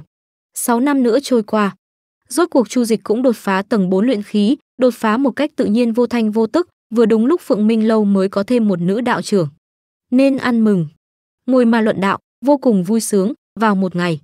Chu Dịch đi dạo ở khu giao dịch như thường lệ, phát hiện giá cả của phù triện hộ thể biến hóa, như kim cương phù, thanh tâm phù vân vân tăng mạnh lên gấp 3 4 lần. Chắc chắn là đã xảy ra chuyện gì rồi. Trước tiên phải tìm hiểu thật hư, rồi mới xem xét đến chuyện có nên trốn xuống biển hay không. Mấy năm nay Chu Dịch học ba môn pháp thuật, thủy nguyên độn dùng để chạy trốn, kim quang chú hộ thể, vân yên thuật dùng để che giấu tầm mắt khí tức. Đấu pháp có lẽ không được, nhưng về phần bảo vệ mạng sống thì rất ít người có cùng đẳng cấp có thể sánh bằng. Phượng Minh lâu. Chu Dịch tìm một bàn gần cửa sổ, chọn mấy món linh hào, dựng lỗ tai nghe người khác nói chuyện nghị luận. Sau một lát, đại khái cũng biết được đã xảy ra chuyện gì. Hôm qua phường thị xuất hiện đạo tặc, sau khi sử dụng kỳ dị mê hương với họ, cướp sạch linh thạch của hơn 10 tu sĩ. Trong đó có một kẻ xui xẻo, vừa đúng kỳ phải trả nợ tiền mua động phủ, bất đắc dĩ chỉ có thể đi Tề Vân Phong đào quạng. Đào quạng không giống làm ruộng, làm ruộng thì rườm rà nhưng an toàn, nhưng đào quạng thì có thể sẽ chết người. Linh quạng thuộc về sinh vật cộng sinh với linh mạch, chỗ sâu trong mỏ linh quạng cách trung tâm linh mạch cực gần. Những khoáng vật nằm sâu dưới nền đất như vàng ngọc sắt đá, được uẩn dưỡng bởi linh khí nồng đậm, năm rộng tháng dài hóa thành yêu quái. Yêu quái sinh ra đã có tu vi luyện khí, lại có thiên phú pháp thuật độ địa, tu sĩ trong quạng mỏ đụng phải, chỉ cần không cẩn thận thì sẽ chết ngay tại chỗ. Nghe đồn khi mới phát hiện được tử linh khoáng mạch ở Tiểu Đan Sơn, có yêu quái kim đan kỳ chiếm cứ, bản thể của nó chính là một khối tử linh đồng. Lực phòng ngự kinh người, lại có ưu thế về địa bàn, đan đỉnh tông phái đến mấy vị chân quân mới giết được nó. Chân quân đã giết sạch yêu quái có tu vi trúc cơ, còn sót lại yêu quái có tu vi luyện khí thì quá nhiều lại phân tán, nên đã giao cho chân quân các đời đóng giữ ở đó từ từ diệt trừ. Hiện giờ mấy trăm năm qua đi, số yêu quái trong quạng mỏ đã còn rất ít, nhưng vẫn còn những nguy hiểm nhất định. Nhưng mà đào quạng cũng có chỗ tốt, bởi vì quạng mỏ cách linh mạch cực gần, bên trong tràn ngập linh khí tinh khiết đến cực điểm, vừa đào quạng cũng có thể dùng nó để tu hành. Tu sĩ luyện khí hậu kỳ ở phường thị Tiểu Đan Sơn cần phải có một lượng lớn linh thạch để mua sắm trúc cơ đan. Đồng thời với sức mạnh của bản thân cũng không sợ đụng phải yêu quái, vì thế hàng năm đều đến Tề Vân Phong đào quạng. Đạo tặc cướp được một lượng lớn linh thạch, tất nhiên đã chạy khỏi phường thị, chấp pháp đội cũng khó truy tìm tung tích. Chu Dịch nhẹ nhàng thở ra một hơi từ đáy lòng, chỉ cần không phải là chiến tranh quy mô lớn là được. Đạo tặc trộm linh thạch vẫn chưa làm hại đến tính mệnh con người, cho nên bên trong phường thị vẫn cứ an toàn. Huống hồ, mấy năm nay Chu Dịch cũng đang đợi ngày này, phường thị động phủ xuất hiện nhân tố không an toàn. Chậm rãi chờ đợi thiên thời mười mấy năm, rốt cuộc cũng nên đón cơ hội phát tài, còn cần phải lên kế hoạch một phen. Phường thị Tiểu Đan Sơn thu thuế cao, tán tu cũng không muốn rời đi, có hai nguyên nhân. Thứ nhất là linh khí, thứ hai là an toàn. Hiện giờ vụ án đạo tặc đã xuất hiện, tất nhiên khiến cho tinh thần của tán tu trong phường thị hoảng sợ, e sợ số linh thạch vất vả tích góp bỗng chốc biến thành mây khói. Tuổi thọ của tu sĩ luyện khí kỳ nhiều nhất là 150 năm, phần lớn sống đến 120-30 tuổi. Gặp phải tổn thất như vậy, nhẹ thì ảnh hưởng đến mười mấy năm tu hành, nặng thì trực tiếp bị chặt đứt tương lai. Bán sẻng cho người đãi vàng, lắp cửa chống trộm cho người bị trộm, cho nên mọi người chắc sẽ bỏ linh thạch ra để mua một trận pháp phòng hộ chứ nhỉ. Dù sao thì thanh tâm phù, kim cương phù chỉ có thể dùng để đánh trả, mà mê tung trận có thể phòng bị đấy. Bình thường Chu Dịch tu hành ở Đông Xương phòng, bên trong bố trí mê tung trận, đáng tiếc đạo tặc nghĩ hắn quá nghèo không có tới, nếu không thì cũng kiếm trác được một món linh thạch. Trung tâm của mê tung trận chỉ cần vẽ một cây cờ mê tung trận, còn trận pháp khắc văn thì cần phải bố trí ngay tại chỗ, tổng phí tổn không vượt quá một linh thạch. Sau khi khởi động trận pháp thì có thể làm nhiễu loạn phương hướng, tầm mắt của con người, tu sĩ không biết phương pháp phá trận, rơi vào trong đó thì sẽ quay mòng mòng. Trận pháp này cũng có hiệu quả phòng hộ quá mạnh, nhưng mà dùng để cảnh báo có người ngoài xâm nhập thì dư sức. Chỉ bán mỗi trận kỳ thì không kiếm được bao nhiêu linh thạch, đến lúc hẹn gặp Lưu sư huynh, Trương sư huynh ở Phượng Minh lâu rồi, Phượng Minh lâu. Nghe nói có cách kiếm linh thạch, Lưu sư huynh, Trương sư huynh đồng ý đến đây. Nhóng một cái đã 20 năm trôi qua, Lưu sư huynh đã hơn trăm tuổi, mái tóc hoa dâm đã hoàn toàn bạc trắng, nặng nề rượu dã. Trước khi bàn chuyện thì phải ăn uống no say, tiên nhân hay phàm nhân đều là như thế. Rượu quá ba tuần. Chu Dịch lấy ra một cây cờ mê tung trận, nói, hai vị sư huynh, đây là phương thức kiếm tiền, chỉ cần bố trí mê tung trận, động phủ sẽ không cần phải sợ đạo tặc trộm linh thạch. Bởi vì đạo tặc chỉ trộm linh vật linh thạch, trên phố đã đặt biệt hiệu cho chúng là linh thạch đạo tặc. Trương sư huynh kinh ngạc, Chu Dịch vậy mà lĩnh ngộ được trận pháp, nhưng mà tu sĩ đều có bí mật, kiên kỵ nhất là dò xét truyền thừa. Chu sư đệ, ta chỉ biết đánh đánh giết giết, nhưng không hiểu trận pháp. Nếu như ngươi bán trận kỳ mà gặp phải kẻ nào không có mắt nhìn, cứ tới tìm ta, nhất định sẽ cho bọn hắn biết được quy củ. Lưu sư huynh thì hai mắt híp lại, chậm rãi nói, Chu sư đệ dự tính để cho ta bán trận kỳ hay sao? Nếu ta tự mình đi bán, chưa nói đến các loại phiền toái, tu sĩ tất nhiên sẽ đòi giảm giá ép giá. Chu Dịch nói, Lưu sư huynh lập một bảng hiệu ở văn phòng, khi Trương sư huynh đi tuần tra thì thông báo cho các tu sĩ ở các động phủ một tiếng, định giá sẵn cho mê tung trận, vậy thì việc mua bán đã thành. Trương sư huynh vừa nghe đã hiểu, linh thạch này kiếm quá dễ, cười nói, "Chu huynh đệ, vụ làm ăn này chúng ta này có thể kiếm được bao nhiêu?" Chu Dịch nói, "Mê tung trận này của ta bán giá 10 linh thạch, hai vị sư huynh muốn bán bao nhiêu thì tùy ý." Trương sư huynh yên lặng tính toán một phen, nói với Lưu sư huynh, trận pháp huyền diệu thâm ảo, huống hồ liên quan đến an nguy của tánh mạng, bán 15 hay 20 khối cũng không mắc nhỉ. 50, Lưu sư huynh chậm rãi, thâm trầm nói, tận dụng thời cơ, động phủ trận pháp là làm một vụ lớn, dứt khoát kiếm một món lớn. Chu Dịch nhíu mày, đưa mắt nhìn Trương sư huynh, không rõ tại sao Lưu sư huynh ngày thường hiền từ, hào phóng với người khác, bỗng nhiên lại tham lam như vậy. 50 khối linh thạch là thu hoạch cả một năm của tu sĩ bình thường, vì linh thạch bị đạo tặc uy hiếp, có khả năng sẽ cắn răng mà mua, nhưng mà sau chuyện này tất sinh oán hận. Chẳng lẽ tuổi thọ của Lưu sư huynh sắp hết, già rồi nên hồ đồ. Lưu sư huynh nói, Trương sư đệ có thể bàn bạc với Lý thống lĩnh của chấp pháp đội, ta cùng với Lăng gia giao hảo, dùng quyền lực của hai vị đệ tử chính thức, trực tiếp dùng danh nghĩa phường thị để làm chuyện này. Chu Dịch bừng tỉnh nhận ra, đây chẳng phải là xưởng sản xuất tư nhân lắc mình biến hóa, thành đơn đặt hàng của chính phủ đây sao? Vùng ven phường thị Tiểu Đan Sơn có 4 năm ngàn động phủ, 10 cái thì có 2 3 cái đã có người ở. Tuy rằng động phủ ở khu vực trung tâm ít, nhưng mà tỷ lệ người cư trú cao, số lượng tu sĩ không kém bao nhiêu so với vùng ven. Khu vực bên trong tắc có trận pháp của Đan đỉnh tông, đừng nói đến linh thạch đạo tặc, trúc cơ chân nhân cũng không thể phá được trận pháp này. Làm một phép tính đơn giản, thì đây là một mối làm ăn lớn có giá tầm 10 vạn linh thạch. Đệ tử chính thức của Đan đỉnh tông cũng là tu sĩ luyện khí kỳ, sau khi Lưu sư huynh làm cầu nối, tuyệt đối không thể nào cự tuyệt một số lượng linh thạch như vậy. Chẳng trách đều thích nhận đơn đặt hàng của chính phủ. Suy nghĩ của Chu Dịch thay đổi thật nhanh, việc này mình tuyệt không thể làm chim đầu đàn, lặng lẽ kiếm chát chút đỉnh là được. Vì thế chủ động hạ thấp giá cả, nhị vị sư huynh, sư đệ đồng ý cung cấp trận kỳ với giá 5 khối linh thạch. Chu huynh đệ có lòng. Lưu sư huynh khen ngợi nói, năm xưa ta chịu không ít khổ, mới hiểu được đạo lý lui một bước, trời cao biển rộng. Nào có, nào có, liệu cơm gắp mắm mà thôi. Chu Dịch hiếu kỳ nói, Lưu sư huynh cũng không thiếu linh thạch, hôm nay tại sao lại vội vàng như vậy? Trương sư huynh nhíu mày, yên lặng chờ Lưu sư huynh giải thích, dùng danh nghĩa trận pháp móc linh thạch của tất cả tán tu, gây nên sự phẫn nộ, cho dù có phường thị chống đỡ, cũng khó tránh khỏi bị oán hận. Tuổi tác của ta cũng đã lớn, tuổi thọ cũng chỉ còn chừng 10 năm 8 năm, để tránh người đi trà lạnh, cần sắp xếp hậu sự trước.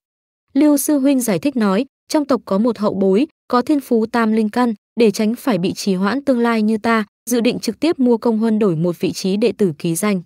Công huân là chứng nhận mà Tiểu Đan Sơn ban cho tu sĩ có công, tích lũy đủ số lượng có thể được nhận vào trong tông môn, trở thành đệ tử ký danh của Đan đỉnh tông.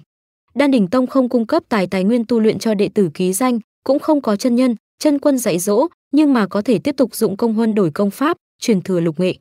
Nguồn gốc của công huân phần lớn là nhiệm vụ của phường thị, ví dụ như đuổi giết tà ma ngoại đạo, diệt trừ yêu thú làm loạn vân vân.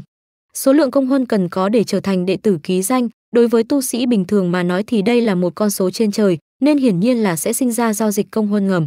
Mặc dù không thể chuyển đổi số lượng công huân, nhưng mà đầu của tà tu thì có thể mua bán, người mua trực tiếp trình báo hoàn thành nhiệm vụ là được. Tiểu Đan Sơn mắt nhắm mắt mở với chuyện này, những tu sĩ dùng một lượng lớn linh thạch để mua công huân, có thể là gia tộc tu chân hoặc là có nhất nghệ tinh. Đan đỉnh tông chỉ đưa ra một hạng ngạch vừa có danh tiếng lại không tốn kém gì, có như thế nào cũng không lỗ. Trương sư huynh nghe vậy mặt lộ vẻ hâm mộ, đều là thiên phú tam linh căn, người ta lại trực tiếp trở thành đệ tử ký danh, sau này có hy vọng với tu vi trúc cơ. Ừ, Lưu sư huynh bảo đảm nói, việc này cứ để bần đạo làm hết, đợi đến khi thọ tận chết đi, tất cả nhân quả tự nhiên tiêu tan.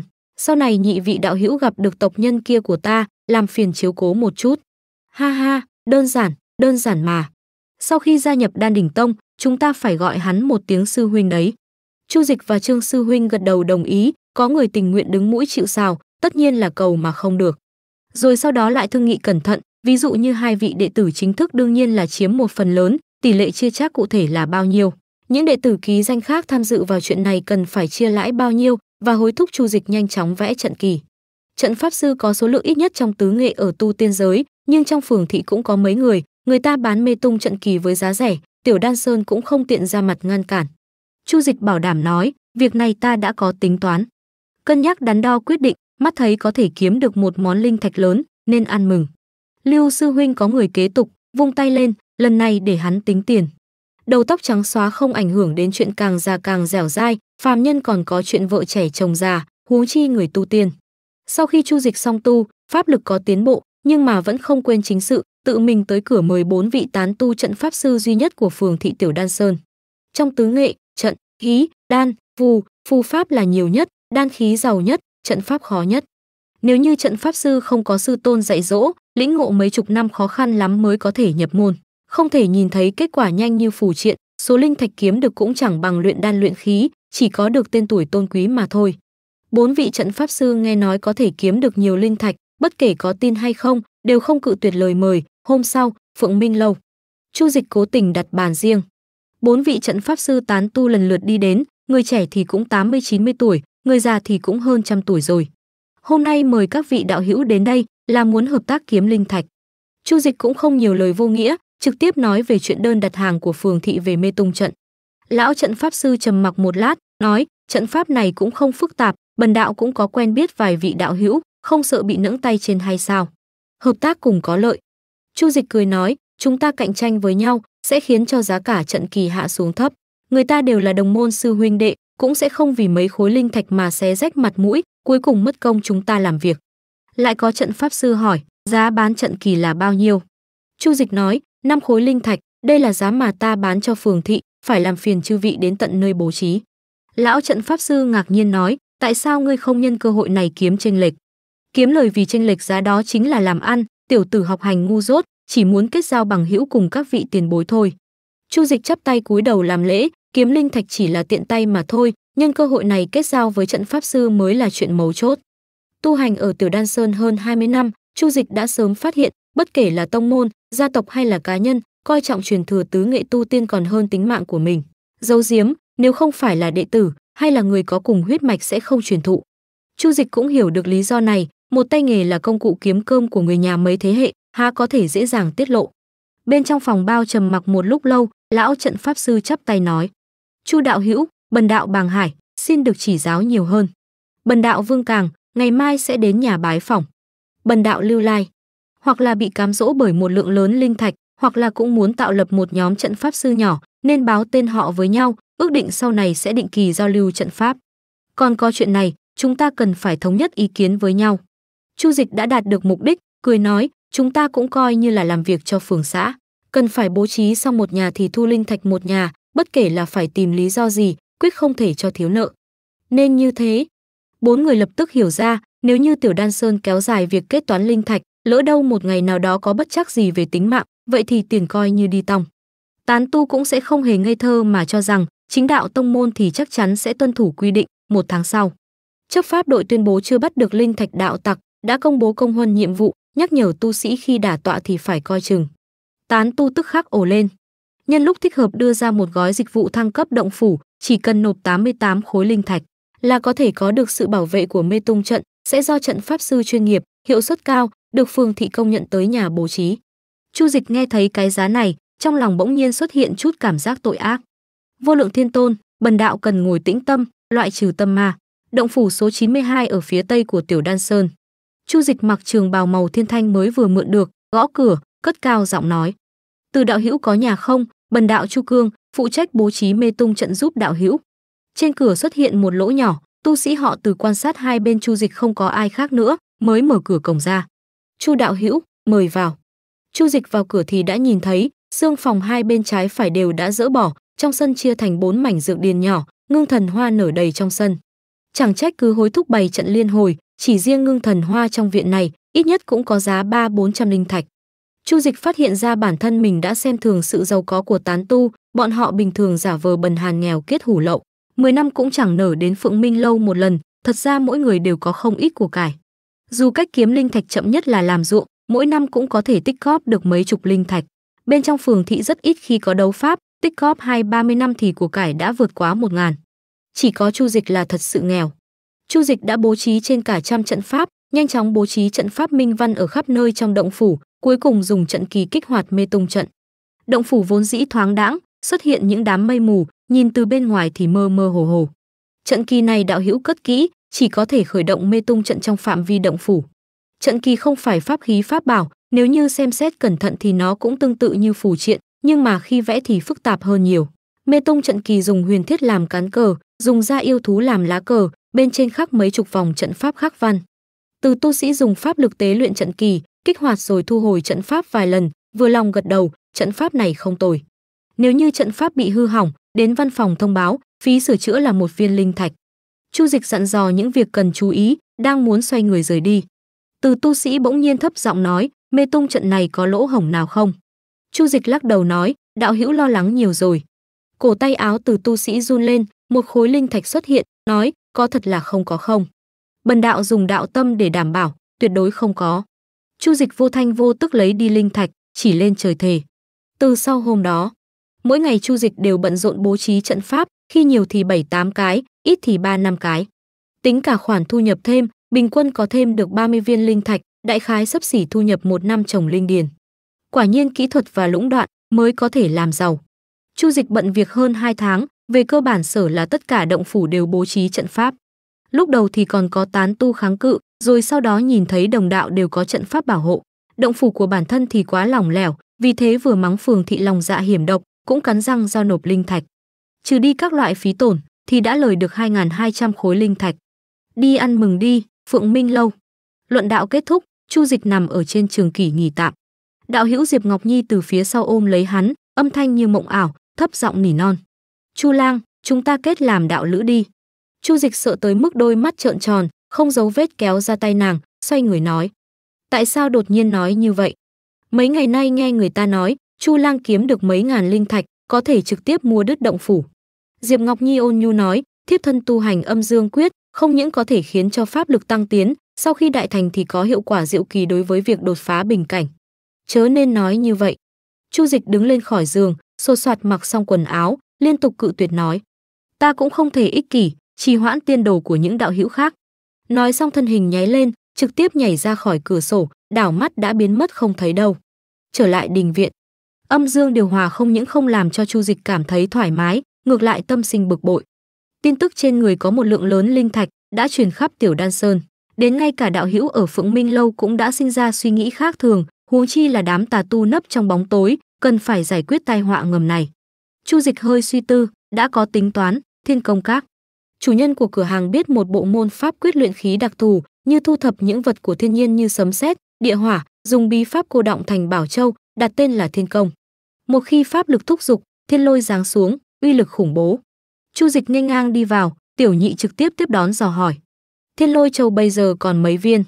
Tiểu Nhị nhận ra được thân phận của Chu Dịch, cung kính nói, Chu tiên sinh, hiện tại trong cửa hàng chỉ có 5 viên, nếu muốn mua nữa thì phải đợi chủ nhân luyện chế. Mua hết, Chu Dịch lấy ra 500 viên linh thạch từ túi trữ vật, đổi lấy 5 viên hắc thiết châu đỏ rực, tròn vo, to như nắm tay của con nít. Mặt ngoài của thiết châu khắc từng vòng hoa văn màu tím, giống như sấm sét rực rỡ trên bầu trời, cầm trong tay có chút cảm giác tê tê, cũng không biết là giò điện hay vốn là như thế. Pháp khí hạ phẩm có giá chừng trăm khối linh thạch, cũng giống như thiên lôi châu dùng một lần, đủ để chứng minh uy lực của lôi châu. Chu Dịch cất ba viên vào trong túi chữ vật, cầm hai viên trong tay đảo quanh, như đang xoay hạt châu trong tay, đi dạo trong khu giao dịch, gặp được người quen liền chào hỏi.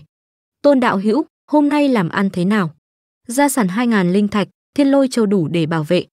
Tà tu không phải là lũ cướp bóc không đầu óc, ngược lại còn cẩn thận dè dặt hơn so người bình thường, dù sao thì cũng chỉ có một mạng sống mà thôi. Thà rằng chém giết nhiều kẻ yếu, chứ cũng không muốn chém giết đấu pháp với người có cùng cấp. Chu Dịch vẫn cảm thấy không an toàn, uy hiếp bên ngoài thì cần phải có, nhưng thủ đoạn trong tối cũng phải chuẩn bị sẵn sàng. Mấy ngày sau, Ngọc Pháp Các, một người đàn ông có khuôn mặt khô vàng đi vào, thân cao tám thước, đi đường sinh gió. Tiểu nhị trong cửa hàng cảm nhận được uy áp của pháp lực, ít nhất là tu sĩ luyện khí trung kỳ, vội vàng tiến lên tiếp đón. Khách nhân muốn mua gì? Quy Nguyên Quyết Nguyên Bộ, Bách Bảo Quyết, Ngũ Lôi Thuật. Chu Dịch nói thẳng ra mục đích, mỗi ngày đi dạo phường thị, đã thăm dò xong giá cả công pháp, trực tiếp lấy linh thạch từ trong lòng. Ngài chờ một lát. Tiểu nhị hiếm thấy có người nào lại hào phóng như vậy, đa số tu sĩ đều tính toán chi ly, một viên linh thạch cũng phải tính toán chi ly. Chu Dịch lấy được ngọc bội chứa pháp quyết, kiểm tra thực giả hoàn chỉnh không thiếu chút nào, tìm một nơi yên tĩnh lại lần nữa thi triển thuật biến hóa. Trong nháy mắt, từ một người đàn ông cao gầy với khuôn mặt vàng vọt, biến thành một người đàn ông trung niên hàm hậu béo tốt. Thuật biến hóa chỉ thay đổi được bề ngoài, nhưng mà pháp lực, khí tức thì vẫn bất biến, cũng chỉ có thể sử dụng để lừa gạt người xa lạ, người quen chỉ cần hơi chút để ý thì sẽ sinh nghi. Đương nhiên, trong phường thị cơ bản không ai dùng tên thật, diện mạo thật, dung mạo của người quen chưa chắc đã là dáng vẻ vốn có của họ. Tu tiên giới là một khu rừng hắc ám, mỗi người đều sinh tồn cẩn trọng. Một lát sau, người đàn ông trung niên hàm hậu béo tốt đến Bách Luyện phường, mua hai pháp khí hộ thân. Pháp khí phòng ngự hạ phẩm quy giáp thuẫn, huyền thiết nội giáp, một phòng ngoài một phòng trong. Sáng sớm hôm sau, Chu Dịch biến hóa thành tăng nhân gầy ốm, tay chống gậy lần tràng hạt, mua hai pháp khí. Pháp khí công kích hạ phẩm tỏa tâm đinh, tốc độ nhanh chóng, thể tích nhỏ, chuyên phá pháp thuật hộ thân. Pháp khí trung phẩm phụ trợ là Thủy Nguyên Châu, sau khi khởi động thì nó sẽ tạo nên một lớp màn nước, làm tăng lực phòng ngự, có hiệu quả ngăn cách độc khí, tà chướng, tăng tốc độ thủy độn trên diện rộng. Lúc trạng vạng, rốt cuộc cũng mua được thanh phi kiếm đầu tiên trong đời, pháp khí trung phẩm ngũ linh kiếm. Năm pháp khí đều là tinh phẩm cung cấp, Chu Dịch mặc cả, bới móc đủ kiểu, trong túi miễn cưỡng còn sót lại 30 khối linh thạch. Linh thạch thật sự là tiêu quá nhanh, đảo mắt lại trở thành nghèo kết xác, nhưng mà sau khi được vũ trang, khi đấu pháp cũng có sức mạnh để tự bảo vệ mình. Trở lại động phủ. Chu Dịch ghi nhớ quy nguyên quyết xong, toàn bộ tổng cộng có 13 tầng, có thể tu luyện đến luyện khí đại viên mãn. Tầng 9 luyện khí là có thể thử đột phá trúc cơ, nếu là không có trúc cơ đan trợ giúp, gượng ép đột phá chỉ có xác suất thành công là 1%. Thất bại thì sẽ có kết cục kinh mạch sẽ đứt đoạn, đan điền vỡ nát, đột phá thêm một tầng thì xác suất thành công sẽ tăng lên một phần. Tầng 13 luyện khí, xác suất thành công là 4%. Chu Dịch lắc đầu, đừng nói là chỉ có 4%, cho dù xác suất thành công là 99%, hắn cũng sẽ không đánh cuộc. Thà rằng tốn thêm mấy trăm năm, bù đắp vào 1% còn thiếu đó. Bách Bảo Quyết, một môn tế luyện, pháp quyết dùng để khống chế pháp khí, sau khi tu thành có thể khống chế nhiều loại pháp khí cùng một lúc. Thân hồn của tu sĩ càng trưởng thành, thì số pháp khí có thể khống chế sẽ càng nhiều. Ngày đêm niệm dưỡng thần luận của Thanh Vi chân nhân, hiện giờ đã được hơn trăm năm, cũng không biết thần hồn cao hơn bao nhiêu so với người cùng cấp nhỉ. Chu Dịch thông qua Ngọc Pháp các biết được, tán tu luyện khí kỳ thi triển Bách Bảo Quyết, có rất ít người có thể khống chế cùng lúc ba pháp khí trở lên. Bắt đầu từ Quy Giáp Thuẫn, tế luyện từng pháp khí một, cuối cùng luyện hóa định hồn kính, ngự, Chu Dịch vỗ vào túi chữ vật, năm kiện bảo quang bắn ra. Tốc độ nhanh nhất chính là tỏa tâm đinh, vô thanh vô tức xuyên qua vách tường. Ngũ linh kiếm theo sát sau đó, tốc độ và hiệu quả ẩn náu không bằng tỏa tâm đinh, kiếm khí dài hơn một trượng bừng lên. Quy giáp thuẫn biến lớn bằng cỡ chiếc cối xay, lơ lửng trước người Chu Dịch. Huyền thiết nội giáp mặc trong người, bắn ra kim quang hộ thể. Thủy Nguyên Châu bay trên đỉnh đầu, màn nước xanh thẳm rũ xuống. Chu Dịch há mồm phun sơn hà đỉnh ra, đón gió biến lớn với kích cỡ cao bằng một người. Vì mấy năm nay luyện nhập rất nhiều huyền thiết, đồng đỏ, lớp vỏ màu tím bên ngoài biến thành màu đen, có vẻ trầm ổn, sâu lắng. Định hồn kính bay ra từ trong sơn hà đỉnh, chiếu ra một cột sáng chói mắt. Bảy kiện pháp khí, cho dù không tính sơn hà đỉnh, cũng có thể sử dụng cùng một lúc 6 kiện. Dưỡng thần luận còn mạnh mẽ hơn so với dự đoán, đương nhiên, tu hành được 100 năm thì càng quan trọng hơn. Mặt Chu Dịch mang vẻ vui mừng, vẫy vẫy tay để định hồn kính rơi vào trong sơn hà đỉnh, cùng vào trong đan điền uẩn dưỡng. Ngũ linh kiếm và những pháp khí khác bay trở về trong túi chữ vật, huyền thiết nội giáp mặc ở trên người, tỏa tâm đinh chui vào cổ tay áo. Tu sĩ có pháp khí, giống như người thường có trang bị súng ống, hành động nhanh chóng, tính công kích cao. Pháp thuật cũng khó mà so sánh được, phải có thời gian kích hoạt trước khi thi triển, uy lực cũng không sánh bằng, chỗ tốt duy nhất là nó rẻ. Nhưng mà cũng không thể bỏ qua pháp thuật, có được thời gian vô tận, có lẽ có thể khiến cho pháp thuật trở nên linh hoạt hơn. Phất tay là có thể bắn ra mấy chục đến cả trăm loại pháp thuật, cảnh tượng như vậy chắc chắn là sẽ rất đẹp. Chu Dịch lấy ngũ lôi thuật ra, bắt đầu lĩnh ngộ từ đầu. Lôi pháp trí cương trí dương, mang lại lực sát thương cực mạnh với tà ma ngoại đạo, là sự lựa chọn hàng đầu của tu sĩ chính đạo, mấy tháng sau. Sóng gió về linh thạch đạo tặc đã tan biến từ lâu. Có lẽ là trốn đi tu luyện, có lẽ là đã chạy đến những phường thị khác, diện tích của tu tiên giới rộng lớn bao la, Tiểu Đan Sơn chỉ là một nơi không đáng chú ý mà thôi. Hôm nay, Chu Dịch dạo hai vòng ở khu giao dịch, đang chuẩn bị trở về tu luyện pháp thuật. Một giọng nói như đã từng quen biết, vang lên sau lưng, "Chu đạo hữu, xin dừng bước." Chu Dịch làm bộ không nghe thấy, dưới chân thi triển khinh công, thân hình chớp nháy biến mất không thấy đâu. Nghe đồn trên đời này có ba câu nói không nên trả lời nhất, xếp vị trí hàng đầu chính là đạo hữu, xin dừng bước, hậu quả rất nghiêm trọng, khiến cho người ta nghe thấy mà sinh lòng sợ hãi. Cứ tưởng là đã trở lại động phủ, bên ngoài lại vọng đến tiếng gọi ầm ĩ. "Chu đạo hữu, là ta, lão hồ đây." Chu Dịch nhìn xuyên qua mê tung trận, nhìn thấy rõ khuôn mặt của người kia, thì ra là Hồ đạo nhân mười mấy năm chưa gặp. Hồ đạo nhân ăn mặc sạch sẽ gọn gàng, đạo bào màu xanh đen mới tinh, trên ngực thêu một ấn ký hình hồ lô rượu màu đỏ tím, thứ duy nhất không thay đổi là hai chiếc răng cửa kia. "Lão Hồ, đã lâu không gặp, tìm bần đạo có chuyện gì?" Hồ đạo nhân nói, "Hồ mỗ đặt bàn ở Phượng Minh lâu, vừa ăn vừa nói được không?" Chu Dịch do dự một chút liền gật đầu đồng ý, từ sau khi Diệp Ngọc Nhi ăn nói khùng điên nói gì mà kết làm đạo lữ, làm hắn sợ tới mức không dám đến đó thêm lần nào nữa, bây giờ nghe người ta nhắc đến thì nhớ đến mỹ vị của Linh Hào. Cùng lắm thì không song tu là được, Phượng Minh lâu. Hồ đạo nhân gọi một bàn đồ ăn, lấy ra xích hồng linh tử từ trong túi chữ vật. Đầu mũi Chu Dịch khẽ động, cười nói, ít nhất cũng phải 50 năm tuổi, tặng lễ tất có nhờ vả, lão hồ nói chuyện trước đi. Linh tử không giống như rượu ngon ở phàm tục, tuổi rượu quá dài chỉ mang lại hương vị ngon. Hiệu quả tăng trưởng pháp lực chênh lệch không lớn so với rượu mới ủ, ngược lại có rất ít rượu được ủ vượt quá 100 năm. Chuyện này nói ra thì rất dài, ta cũng là may mắn. Mười mấy năm trước, Hồ đạo nhân bất ngờ phát hiện ra một chỗ linh địa, có diện tích chừng 5-6 mẫu, nồng độ của linh khí tương đương với khu vực bên ngoài phường thị. Vì thế bán mấy đợt linh tử, mua sắm một lượng lớn hạt giống linh mễ, linh dược, mang theo một ít tộc nhân hồ ra vào trong linh địa sinh sống, thành lập gia tộc tu tiên. Chu Dịch chắp tay nói, chúc mừng chúc mừng, sau này phải gọi ngài là hồ tộc trưởng rồi. Trong tộc chỉ có hai ba tu sĩ, nào dám xưng là tộc trưởng. Hồ đạo nhân ngoài miệng thì nói như vậy, trên mặt thì rất đắc ý, mấy năm nay buôn bán linh mễ, linh dược, kiếm lời không ít linh thạch, thì bắt đầu nghĩ kéo dài truyền thừa của gia tộc. Trước tiên là phải có được trận pháp hộ tộc, đỡ phải trong tương lai bị tà tu đánh lén, chẳng phải là muốn nhờ đạo hữu ra tay bày trận, tất có thủ lao lớn. Chu Dịch đã hiểu được mục đích đến đây của Hồ đạo nhân, quyết đoán cự tuyệt nói, nếu như đạo hữu mời ta rời khỏi Tiểu Đan Sơn, chuyện này chắc chắn là không thể. Ai biết được Hồ đạo nhân nói thật hay là giả, hai người chỉ có chút quan hệ mua bán, lỡ đâu là lừa mình ra ngoài. Rồi bảy tám người đàn ông to lớn râu ria múa may phi kiếm đánh cướp, chẳng phải là chui đầu vô lưới.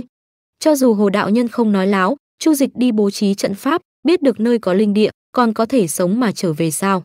Chu Dịch sớm đã hạ quyết tâm, Tiểu Đan Sơn không xuất hiện biến cố lớn, mấy trăm mấy ngàn năm cũng không rời khỏi đây. Không gạt gì đạo hữu, Hồ Mỗ đã tìm vài vị trận pháp sư khác, đều là một kết quả như vậy. Mặt Hồ đạo nhân lộ vẻ chua xót, gia tộc của hắn điều hành rất ra dáng, hiện giờ sự an toàn của linh địa là nhiệm vụ hàng đầu. Linh địa là căn cơ của gia tộc, nếu không có trận pháp che chở, phòng hộ, để cho tà tu phát hiện thì hậu quả không dám tưởng tượng. Chu Dịch khẽ dao động, nói, ta có một biện pháp, nhưng phải xem đạo hữu có nỡ hay không thôi. Hồ đạo nhân vội vàng dò hỏi, đạo hữu mời nói. Chu Dịch nói, ta dùng truyền thừa trận pháp đổi phối phương xích hồng tử của đạo hữu, thế nào? Trận đạo sơ giải thuộc về truyền thừa tứ nghệ hoàn chỉnh, còn đính kèm ba môn trận pháp, luận về giá trị thì hơn xa phối phương của linh tử. Nhưng mà linh tử được sử dụng với nhiều mục đích, có thể làm tăng tu vi, có thể kiếm được linh thạch liên tục không ngừng, giá trị thực tế cao hơn rất nhiều. So sánh hai bên với nhau, thì lần trao đổi này, Chu Dịch vẫn cứ thua thiệt không ít. Hồ đạo nhân tất nhiên là hiểu được đạo lý trong đó, dao động nói, truyền thừa trận pháp của Chu đạo hữu gồm mấy môn trận pháp. Hai môn, tác dụng của mê tung trận thì ngươi đã biết, còn có một môn tiểu ngũ hành trận, sau khi bố trí thành công thì ngũ hành luân chuyển, luyện khí tu sĩ lọt vào trong đó khó thoát cái chết.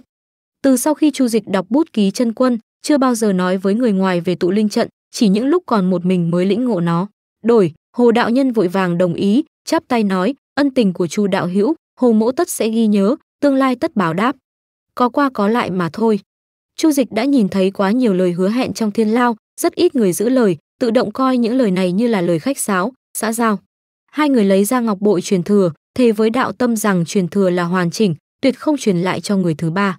Giao dịch hoàn thành, ai nấy đều vui mừng, Chu Dịch dựa theo phối phương linh tử, mua một đống nguyên liệu, như là nước linh tuyền, men rượu, vò rượu bằng ngọc vân vân, đây đều là những thứ thuộc về nhu yếu phẩm để ủ linh tử, giá cả rất rẻ. Nguyên liệu quan trọng là hỏa linh chi, loại có tuổi đời 10 năm có giá hai viên linh thạch, có thể sản xuất 5 vỏ linh tử. Chi phí của một vò xích hồn ước chừng nửa khối linh thạch, rượu mới ủ thì lão hồ bán hai khối linh thạch, cho dù có một nửa là tiền vốn, thì phần lợi nhuận này cũng đủ kinh người. Có lẽ lần trao đổi này cũng không thua lỗ bao nhiêu. Kết quả Chu Dịch dạo hai vòng ở khu giao dịch, chỉ thu được một gốc hỏa linh chi. Hỏa linh chi không giống những linh dược như bồi nguyên thảo, bất kể loại linh địa nào cũng có thể gieo trồng. Phải là nơi có hỏa linh khí nồng đậm, cho nên số lượng của nó rất hiếm trên thị trường, gián tiếp hạn chế sản lượng của xích hồng linh tử. Chu Dịch cũng không để ý đến chuyện này, chỉ cần có thể đạt được nhiều truyền thừa tu tiên, hơn xa những lời lỗ mà linh thạch hiện tại có thể so sánh. Mấy trăm năm sau, nói không chừng hồ gia cũng biến mất, xích hồng linh tử còn có thể kiếm được linh thạch cho Chu Dịch. Trở lại động phủ. Dựa theo tỷ lệ điều chế linh tử, Chu Dịch bỏ các loại linh vật vào trong vò ngọc, dùng pháp lực nghiền nát quấy đều. Chôn xuống sâu ba trượng dưới lòng đất, để lên men một tháng là có thể thành rượu. Theo như lời của lão Hồ, linh tử còn đơn giản hơn nhiều so với việc luyện đan. Cho dù là người mới làm cũng có thể ủ thành công hai ba phần, sự khác biệt so với người làm lâu năm là nằm ở khẩu vị. Chu Dịch không hề vội vàng chút nào, sau này chậm rãi cân nhắc điều chỉnh khẩu vị là được. Cho dù thất bại toàn bộ, cùng lắm thì mất thêm hai ba viên linh thạch mà thôi, số linh thạch tiết kiệm được mấy ngày gần đây cũng đủ để ủ thêm mười mấy lần. Những ngày sau đó cuộc sống bình lặng, chăm sóc linh dược, tưới linh điền, luyện pháp khí, tìm hiểu lôi quyết, đả tọa luyện khí, mỗi ngày trôi qua rất phong phú. Cuối tuần thì gặp mặt các trận pháp sư, giao lưu kinh nghiệm với nhau. Lúc đầu bốn trận pháp sư đều không cởi mở, có thói quen tính giấu những gì tinh túy về trận đạo mà mình tìm hiểu được dưới đáy lòng. Chu Dịch dẫn đầu giảng thuật trận đạo sơ giải mà hắn đã lĩnh ngộ hơn trăm năm, có không ít thứ thuộc về tri thức độc môn. Bốn vị trận pháp sư nghe xong đều có lĩnh ngộ, liền bắt đầu sử dụng những tinh túy trong trận pháp của Chu Dịch luận đạo, lần này là luận đạo thật sự, chất lọc tinh hoa, bỏ giả lấy thật. Trong lúc này tự nhiên không thể thiếu chuyện khắc khẩu, anh nói anh có lý, tôi nói tôi có lý. Vì thế bắt đầu bố trí trận pháp, nghiệm chứng đúng sai, kết quả tự nhiên là chân lý sáng tỏ hơn. Chỉ trong 3 năm ngắn ngủn, kinh nghiệm về trận pháp của Chu Dịch và vài vị đạo hữu đã tăng lên, còn nhiều hơn so với 30 năm từ mày mò nghiên cứu một mình.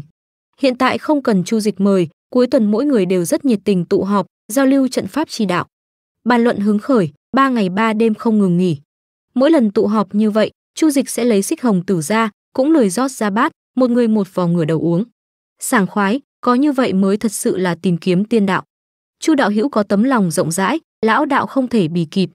Lão trận sư Bàng Hải nghe vậy, tán thưởng nói, nghiên cứu trận đạo hơn 70 năm, chỉ biết của mình thì mình quý, khi bày trận còn sợ người khác học lõm, nghĩ mọi cách che giấu. Rất đúng rất đúng. Đám người Vương Càng liên tục tán thành, rất là khâm phục Chu Dịch. Chu Dịch không nhịn được mà sinh hổ thẹn, hắn cũng không phải là người có tấm lòng rộng lớn gì đó, ngược lại là có thủ tất báo. Cách làm lần này chính là vì mưu đồ truyền thừa trận sư. Khác với sự vội vàng của những tu sĩ bình thường, Chu Dịch có thể hao tổn 10 năm, vài thập niên để trở thành bạn thân cốt của mấy người này, trong quá trình giao lưu luận đạo, thuận theo tự nhiên để đạt được mục tiêu. Thủ đoạn không cao minh lắm, chỉ là kéo dài thời gian hơn mà thôi. Vài năm nữa Chu Dịch tiễn mấy người lên đường, tương đương với làm bạn tốt cả đời, có lẽ cũng không tính là mưu đồ lừa gạt. Tương lai trong khả năng cho phép sẽ chiếu cố. À. Chu Dịch mặc niệm vô lượng thiên tôn, lập tức đè xuống suy nghĩ nguy hiểm này. Tuổi thọ vô cùng vô tận, hôm nay người này gửi gắm ngày mai người kia gửi gắm, về lý thì phải chiếu cố cho vô số người, khu vực trung bộ. Động phủ số 475. Chu Dịch duy tu xong mê tung trận, liên tục dặn dò lão giả. Tiền bối tu luyện pháp thuật nên tìm một chỗ trống trải, lần này hư hại có chút nghiêm trọng. Nhớ rồi, lần sau sẽ cẩn thận hơn. Lão giả hiểu đạo lý đối nhân xử thế, không vì bản thân là tu sĩ luyện khí hậu kỳ mà kiêu ngạo, sau khi chi trả phí sửa chữa bằng linh thạch, sách theo rổ linh đào nói. Linh đào này là dị chủng hiếm thấy, mùi vị rất tươi ngon, Chu Tiểu Hữu cầm lấy nếm thử.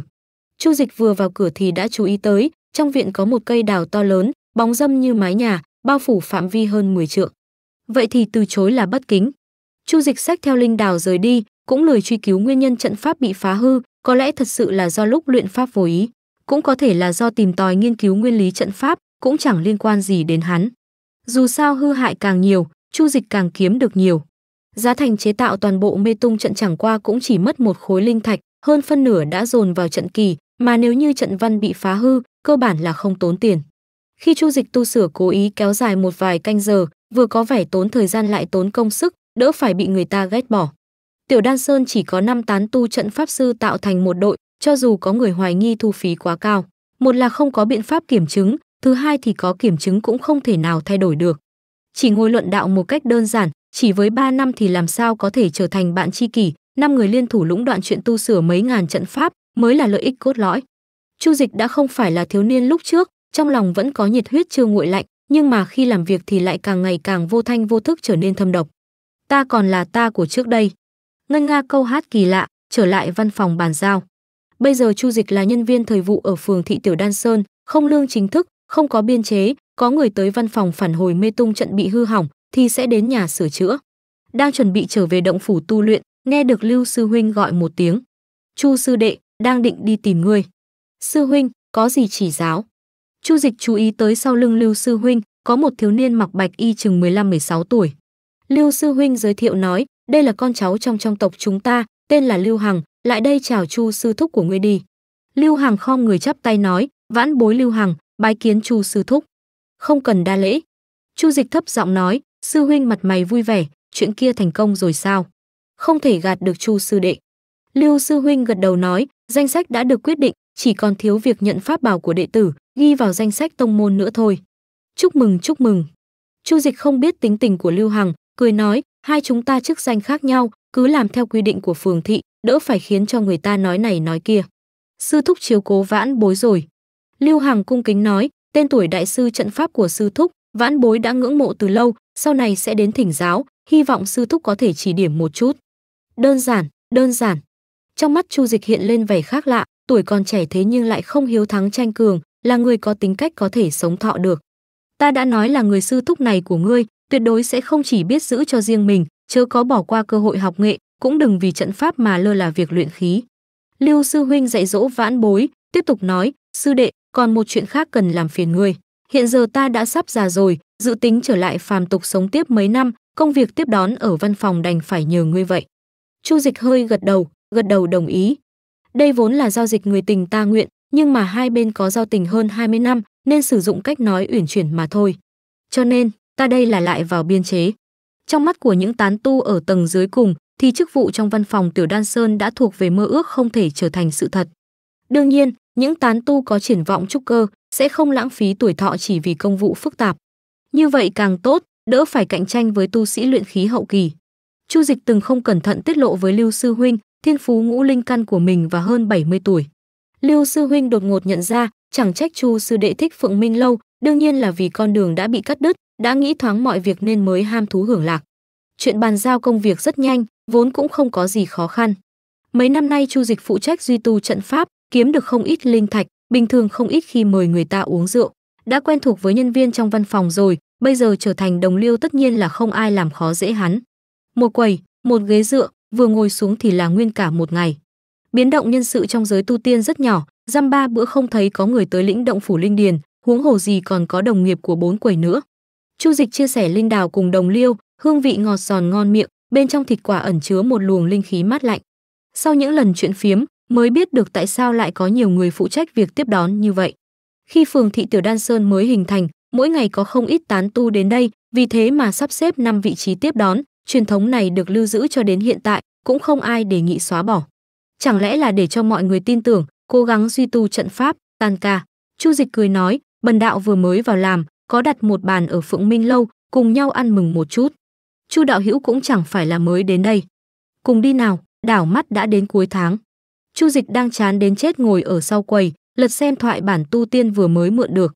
Chậc chậc, nam chính của thoại bản này rất thú vị, thiên phú thấp kém bất kham, vận khí cũng không tốt, thế nhưng dựa vào phương pháp song tu, bám váy đàn bà, kết giao với 3000 đạo lữ, trực tiếp phi thăng thành tiên. Tu sĩ viết thoại bản này, miêu tả chi tiết như vậy, chắc chắn là chẳng ít đi thu thập cảm hứng. Chu Dịch đang cân nhắc, có nên thử biện pháp của nam chính trong thoại bản hay không, có lẽ có thể nhanh chóng tăng pháp lực. Lúc này, một giọng nói truyền vào trong tai, "Tiền bối, xin hỏi có phải lãnh động phủ, linh điền ở đây không?" Chu Dịch ngẩng đầu nhìn lại, trước mắt là một thiếu niên có khuôn mặt hàm hậu, mặc vải bố, làn da ngăm đen, khô nứt, khi nói chuyện cố gắng đè thấp giọng, cũng không thể giấu được giọng thô giáp. Thằng nhãi có chắc là người tu tiên không? Chu Dịch đã từng nhìn thấy tu sĩ nghèo túng nhất, cũng là đại gia xa hoa ở phàm tục, đè sự nghi ngờ trong lòng xuống, cười nói: "Đưa thẻ thân phận cho ta, có biết thi triển linh vũ thuật hay gieo trồng linh dược không?" Thiếu niên cung kính đưa thẻ bài ra, không biết pháp thuật, ta chỉ biết làm ruộng. Chu Dịch xem xét thẻ thân phận, họ tiêu tên thiết trụ, khá hoài nghi tính chân thật của cái tên này, lấy ra một tờ bản đồ, chỉ vào khu vực màu xanh lục. Mỗi mẫu nộp 6 đấu địa tô, muốn thuê bao nhiêu mẫu? Ta thuê 3 mẫu. Tiêu Thiết Trụ không dám lựa chọn, chọn đại một chỗ ở phía đông địa giới. Có thể, động phủ số 307. Chu Dịch nhíu mày, không cố tình làm khó dễ thiếu niên cần đổi động phủ mới, đem tin tức đưa vào trong lệnh bài, đưa cả ngọc bội linh vũ thuật cho hắn. Đa tạ tiền bối. Tiêu Thiết Trụ liên tục khom người cảm ơn, vui mừng rời khỏi phòng làm việc. Chu Dịch tiếp tục lật xem thoại bản, cân nhắc đại kế thành tiên. Trước khi tan ca, phòng làm việc phát bổng lộc, 10 viên linh thạch, có nghĩa là một năm được 120 viên. Chu Dịch đang chuẩn bị về động phủ, Đồng Liêu Lạc Tuần gọi hắn lại. "Chu đạo hữu, hôm nay lầu trên có họp chợ, nếu như không có chuyện gì thì cùng nhau đi xem thử." Sau khi được Đồng Liêu giải thích, Chu Dịch mới hiểu được 6 tầng văn phòng, tại sao lại chỉ có 2 tầng phía dưới là mở cửa. Vốn dĩ phường thị chỉ xây 4 tầng, sau này xin chỉ thị của cấp trên, lại xây thêm 2 tầng.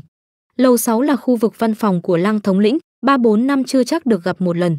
Lầu năm có mấy đệ tử ký danh, thực sự quản lý văn phòng, cũng mấy tháng không thấy bóng dáng.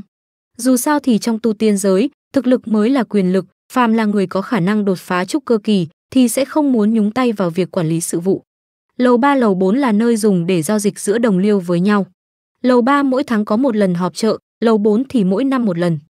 Quả nhiên là lợi ích của việc gia nhập tổ chức, không những được kiếm tiền, địa vị cũng được tăng lên, còn được mở rộng vòng xã giao. Chu Dịch dường như đã được Lưu sư huynh kể về việc này, nhưng mà vẫn luôn chịu sự hạn chế của thân phận, tán tu không thể vào trong đó. Nói trắng ra là, một tán tu không thân không phận, tên họ dung mạo đều là giả hết, rất khó để người tín nhiệm. Hiện giờ Chu Dịch đã có công việc ở văn phòng, cũng coi như có chỗ dựa là Tiểu Đan Sơn, ít nhất sẽ không chỉ vì 1000 hay 800 khối linh thạch mà lắc mình trở thành một tên tà tu giết người đoạt bảo. Bước lên lầu 3. Lối vào có trận pháp cấm chế, Chu Dịch quét thẻ thân phận mới có thể đi vào.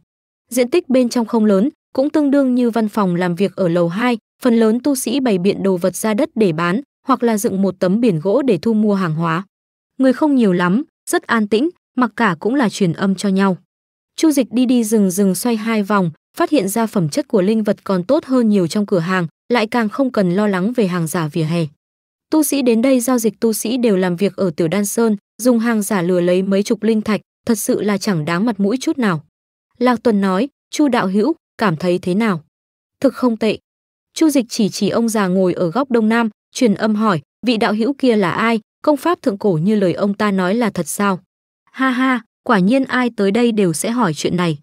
Lạc Tuần cười nói, công pháp thượng cổ tất nhiên là thật, nhưng mà Chu đạo hữu cũng nên biết là, chưa chắc đồ vật thời thượng cổ thì chắc chắn sẽ tốt, thời thế đổi thay, công pháp kia chỉ là đồ bỏ đi mà thôi. Chu Dịch lập tức cảm thấy hứng thú, là sao? Trong sách cổ ghi lại, thời thượng cổ, thiên địa linh khí nồng đậm đến mức cực điểm, thậm chí có thể ngưng tụ thành linh tinh từ hư vô, linh thạch được ẩn dưỡng từ trong linh mạch hiện nay không thể nào so sánh được. Một hoàn cảnh tu tiên ưu việt như vậy, tạo nên một thế giới cường giả hoành hành khắp nơi, có thể nói hóa thần đầy ra đó, nguyên anh không bằng con cún. Cho nên những báu vật, thần thông truyền từ thượng cổ đến nay, phần nhiều đều nổi danh hậu thế, phàm là nơi nào xuất hiện truyền thừa thời thượng cổ, chắc chắn khiến cho vô số tu sĩ liều chết tranh đoạt. Thứ nhất, công pháp kia không đầy đủ, nhiều nhất thì cũng chỉ có thể tu đến luyện khí kỳ viên mãn mà thôi. Lao Tuần giải thích nói, thứ hai, công pháp kia thuộc về loại tu luyện tốn thời gian sức lực, tuy rằng sau khi luyện thành thì thực lực rất mạnh mẽ, nhưng yêu cầu về thời gian cực dài, của cải nguyên cần hao phí rất nhiều, vậy chẳng phải là đồ bỏ đi thì là cái gì? Mắt Chu Dịch sáng lên, tự động bỏ qua hai chữ thời gian, vội vàng hỏi: "Cần bao nhiêu linh thạch để mua được?" Lão Tuần cũng không cảm thấy kỳ lạ, không ít tu sĩ nghe được đây là công pháp thượng cổ, cho dù biết là vô dụng, cũng không kìm được mà mua về xem thử. 100 khối linh thạch, chỉ dựa vào việc buôn bán thứ đồ này mà Lý sư huynh sắp tích góp đủ trúc cơ đan rồi. Chu Dịch biết rằng Lạc Tuần đang nhắc nhở mình, nhưng mà 100 khối linh thạch đúng là quá rẻ, lỗ thì cũng coi như lỗ. Nhưng tu sĩ khác mua công pháp thượng cổ thì gần như cũng có cùng suy nghĩ như vậy, ít có người thật sự cho rằng bản thân mình có số trời. Chu Dịch truyền âm trao đổi vài câu với Lý sư huynh, dùng đạo tâm thể khâu truyền công pháp ra bên ngoài, sau khi đưa linh thạch thì lấy được ngọc bội. Không còn hứng thú với những quầy hàng khác, Chu Dịch cáo từ Lạc Tuần, lần sau đến đây cũng treo biển thu mua hỏa linh chi. Sau khi tan ca, Chu Dịch đi tới nước cho linh điền trước, nhìn thấy Tiêu Thiết trụ đang làm cỏ, xới đất, không để ý đến hắn liền trở lại động phủ. Nhìn vào ngọc bội, hàng trên cùng là tên của công pháp thượng cổ. Thần lưu biến. Công pháp thượng cổ, quả nhiên bất đồng với phương hướng tu luyện bây giờ. Chu Dịch đọc một lượt toàn bộ công pháp, cũng có hiểu biết rõ ràng hơn về thần Ngưu biến. Một bộ công pháp vô danh không trọn vẹn của thời thượng cổ, theo như khảo chứng kiểm chứng của Lý sư huynh, ít nhất thì nó đến từ 10 vạn năm trước. Sau khi tu luyện đại thành, có thể thi triển thiên phú huyết mạch, biến thân thành thần ngưu dũng mãnh, cho nên mới có tên gọi là thần ngưu biến. Huyết mạch thiên phú, hóa thân thành thần ngưu, tại sao nhìn có vẻ có chút giống yêu quái vậy? Chu Dịch xem tiếp bút ký, có lẽ Lý sư huynh cảm thấy hổ thẹn với lương tâm, tặng thêm miễn phí kinh nghiệm tu luyện mấy chục năm. Thiên phú pháp thuật xuất phát từ tâm, uy lực mạnh hơn rất nhiều so với pháp lực bình thường, luyện khí hậu kỳ có thể đối đầu, có thể chạy thoát dưới tay chân nhân trúc cơ. May mắn là không phải chém giết vượt cấp, nếu không thì ta sẽ đi khiếu nại lừa đảo. Cũng không phải từ người biến thành yêu, không ảnh hưởng đến pháp lực đan điền, cùng loại với thần thông nhục thể trong truyền thuyết. Chu Dịch trầm ngâm một lát, tính toán tu hành thử. Có không ít người trong Tiểu Đan Sơn tu hành thần lưu biến, chưa bao giờ xảy ra vấn đề gì, chỉ là yêu cầu về thời gian đại thành vô cùng dài, tất cả mọi người kể cả Lý sư huynh đều bỏ lỡ giữa chừng. Hôm sau, Chu Dịch dựng một tấm biển gỗ trên quầy thu mua tinh huyết của Ngưu Yêu luyện khí kỳ với giá cao. Đây là thứ đồ cần phải có để tu hành thần Ngưu biến, đưa tinh huyết Ngưu Yêu vào trong cơ thể, thông qua quá trình tích lũy luyện hóa liên tục không ngừng, cho đến khi tu hành đại thành. Công pháp thượng cổ vô cùng sơ sài, không hề có sự phân chia cảnh giới tỉ mỉ như là bây giờ, cũng không hề có những bình cảnh nhỏ gì đó, rất phù hợp cho ta tu luyện. Sau khi Chu Dịch đột phá luyện khí tứ tầng, pháp lực tăng trưởng rất chậm chạp, âm thầm tính toán thời gian đạt đến tu vi luyện khí hậu kỳ, đại khái thì sẽ qua mấy thế hệ tu sĩ của phường thị. Còn về phần có luyện đến khi Tiểu Đan Sơn mai một hay không thì cũng chưa biết chừng. Đồng Liêu thấy Chu Dịch treo thẻ bài, tức khắc tìm được đề tài chung, bắt đầu kể chuyện trong thành phố này có những ai đang tu hành thần ngưu biến. Trong đó có đệ tử chính thức nhị linh căn, có cả hậu duệ của chân nhân giàu nứt đổ đổ vách, còn có những kẻ tự xưng là có thiên phú vận may, kết quả tất nhiên là đổ sông đổ bể. Chưa nói đến chuyện hao tổn linh thạch, không không mà lãng phí mất mười mấy năm tuổi thọ, ảnh hưởng lớn đến đường tu đạo của tu sĩ. Ta cũng không muốn trở thành chân nhân, chỉ cần cố gắng tu hành là có thể khiến cho thể chất tăng lên diện rộng, tương lai có lẽ có thể sống lâu thêm mấy năm. Chu Dịch tùy tiện tìm một cái cớ, thế mà các đồng liêu lại tin, sôi nổi lấy thần ngưu biến đang bám bụi dưới đáy hòm, thử tiếp tục tu hành. Chẳng trách Lý sư huynh có thể mua được trúc cơ đan, thì ra cả một đám đều mua. Một ngày không có việc gì. Sau khi Chu Dịch tan ca thì đến linh điền, thi triển linh vũ thuật. Sau khi đột phá luyện khí tứ tầng, phạm vi bao phủ của linh vũ tăng lên theo diện rộng, pháp lực trong cơ thể cũng đủ duy trì thi triển hơn 10 lần. Rất nhanh đã tới xong ba mẫu linh điền, vừa vặn nhìn thấy mảnh ruộng kế bên đang gieo giống. Tiêu Thiết Trụ cẩn thận quan sát linh điền của Chu Dịch, cứ một trượng thì có một cây, nhìn rất sum xuê, vì thế cũng gieo trồng dựa theo khoảng cách như vậy. "Tiểu tử, linh mễ chỉ có tỷ lệ nảy mầm là 3 phần." Một giọng nói truyền vào trong tai của Tiêu Thiết Trụ, hắn ngẩng đầu nhìn lên, thấy Chu Dịch đã đi xa. Đa tạ tiền bối chỉ điểm, xuân đi thu tới, thời gian trôi như thoi đưa, ngày này, Chu Dịch nhận công việc tu bổ trận pháp, một đường đi tới khu vực trung bộ. Vị trí này rất là hẻo lánh, nằm ở mặt tối của sườn núi nhỏ. Linh mễ có thuộc tính mộc, thích ánh sáng, có rất ít người gieo trồng ở mặt tối của linh điền. Chu Dịch đi đến bên ngoài động phủ số 702, rõ ràng cảm nhận được khí âm sát, theo bản năng kích hoạt huyền giáp thuẫn, tay phải khống chế thiên lôi châu, toàn tâm đinh trong cổ tay áo vận sức chờ hành động. Lãnh đạo hữu có đây không? Bần đạo tới tu bổ trận pháp. Kéo kẹt, cửa động phủ mở ra, một cổ khí âm lãnh ập vào mặt. Trên đỉnh đầu Chu Dịch xuất hiện thủy nguyên châu, một màn nước xanh thẳm phủ xuống, ngăn cách âm khí ở bên ngoài, dây dưới chân lập lòe linh quang, bay nhanh về phía sau cách đó 20 trượng. Bên trong cánh cửa, một đạo nhân mặc áo bào xám cho bước ra, nhìn thấy cảnh tượng này thì hơi sừng sốt, chắp tay nói: "Bần đạo là Lãnh Vân, nương tử của ta không cẩn thận phá hủy mê tung trận, nhờ đạo hữu tu bổ lại." Chu Dịch giả vờ nhìn túi chữ vật, bất đắc dĩ nói: "Vật liệu để bày trận đã dùng hết rồi, đợi ta về bổ sung, lãnh đạo hữu ở trong nhà chờ là được." Lời còn chưa dứt, người đã đi xa hơn trăm trượng. Khí tức của Lãnh Vân mạnh mẽ, vượt xa nhiều tu sĩ luyện khí hậu kỳ mà hắn từng gặp, Chu Dịch không hề muốn đánh cược rằng hắn là người tốt, trở lại văn phòng. Chu Dịch hơi thả lỏng, hỏi thăm lai lịch của Lãnh Vân với Lạc Tuần. Lạc Tuần nói, Lãnh sư huynh tinh thông thuật luyện thi, bị ảnh hưởng bởi luyện thi âm sát, trên người phát ra chút âm khí cũng là chuyện bình thường. Chu Dịch nhíu mày, bàng môn tà đạo kiểu này mà cũng có thể tu hành ở Tiểu Đan Sơn sao? Nếu như Tiểu Đan Sơn chứa chấp tà tu luyện thi, vậy thì đã đến lúc phải suy nghĩ việc đổi chỗ để tu hành. Hiện tại Chu Dịch lại không phải là một kẻ không biết gì về tu tiên giới, biết được địa chỉ của phường thị Đan đỉnh tông ở Vân Châu. Những thứ như truyền thừa, biên chế, nhân mạch vân vân, trong mắt của Chu Dịch chẳng bì được với sự an toàn. Lãnh sư huynh chỉ có một bộ luyện thi, cũng không dùng để đấu pháp chém giết. Lão Tuần rất là hiểu biết Lãnh Vân, nói, bộ luyện thi kia là thê tử phàm tục của hắn, bởi vì bị kẻ thù trả thù giết hại. Lãnh sư huynh đã luyện hóa bà thành cương thi, hy vọng là trong tương lai có thể khôi phục linh trí. Này, Chu Dịch nhíu mày, cương thi sinh ra linh trí, vậy thì cũng là người khác rồi. Lão Tuần nhún nhún vai, ai biết được, cương thi kia đúng thật là huyền bí, nhìn thấy lãnh sư huynh thì sẽ an tĩnh, nếu không có tử khí trên người thì nhìn giống như một người sống im lặng vậy đó. Chu Dịch đã xem không ít điển tịch, cũng không có ghi chép nào như vậy, nghi hoặc nói, chấp sự chân nhân cho phép chuyện như vậy sao? Lạc Tuần thấp giọng nói, Huyền Lâm chân nhân chính miệng đã từng nói vợ chồng tình thâm, ai dám có ý kiến? Thì ra là thế. Chu Dịch lập tức bừng tỉnh, Lãnh Vân xa rời đám đông, lại có chân nhân ủng hộ, nuôi một bộ luyện thi cũng không có gì. Lão Tuần còn nói thêm, việc này bần đạo cũng rất tán đồng, lãnh sư huynh có trách nhiệm, ngược lại đáng để kết giao, nếu là một người không có ràng buộc, cũng sẽ vô tình vô nghĩa. Có đạo lý. Chu Dịch há có thể không hiểu ra, Lão Tuần đang chỉ điểm cho mình, không phải phê bình chỉ trích. Đáng tiếc Chu Dịch có ý định là người không có vướng mắc, cũng chưa đến mức là vô tình vô nghĩa. Nếu như nhìn thấy chuyện chướng mắt, chỉ cần không ảnh hưởng đến an nguy của hắn, thì rất sẵn lòng hành hiệp trượng nghĩa. Sau khi tan ca, Chu Dịch đi vào linh điền, phát hiện Tiêu Thiết Trụ đang đợi ở bờ ruộng. Tiêu Thiết Trụ cung kính nói, đa tạ tiền bối chỉ điểm, ta không có gì báo đáp, chỉ có năm đấu linh mễ này. Chu Dịch cười nói, với sản lượng này của ngươi, nhiều nhất thì cũng chỉ còn lại hai ba đấu, lại đưa cho ta năm đấu vậy thì còn đủ để trả tiền thuê động phủ hay không?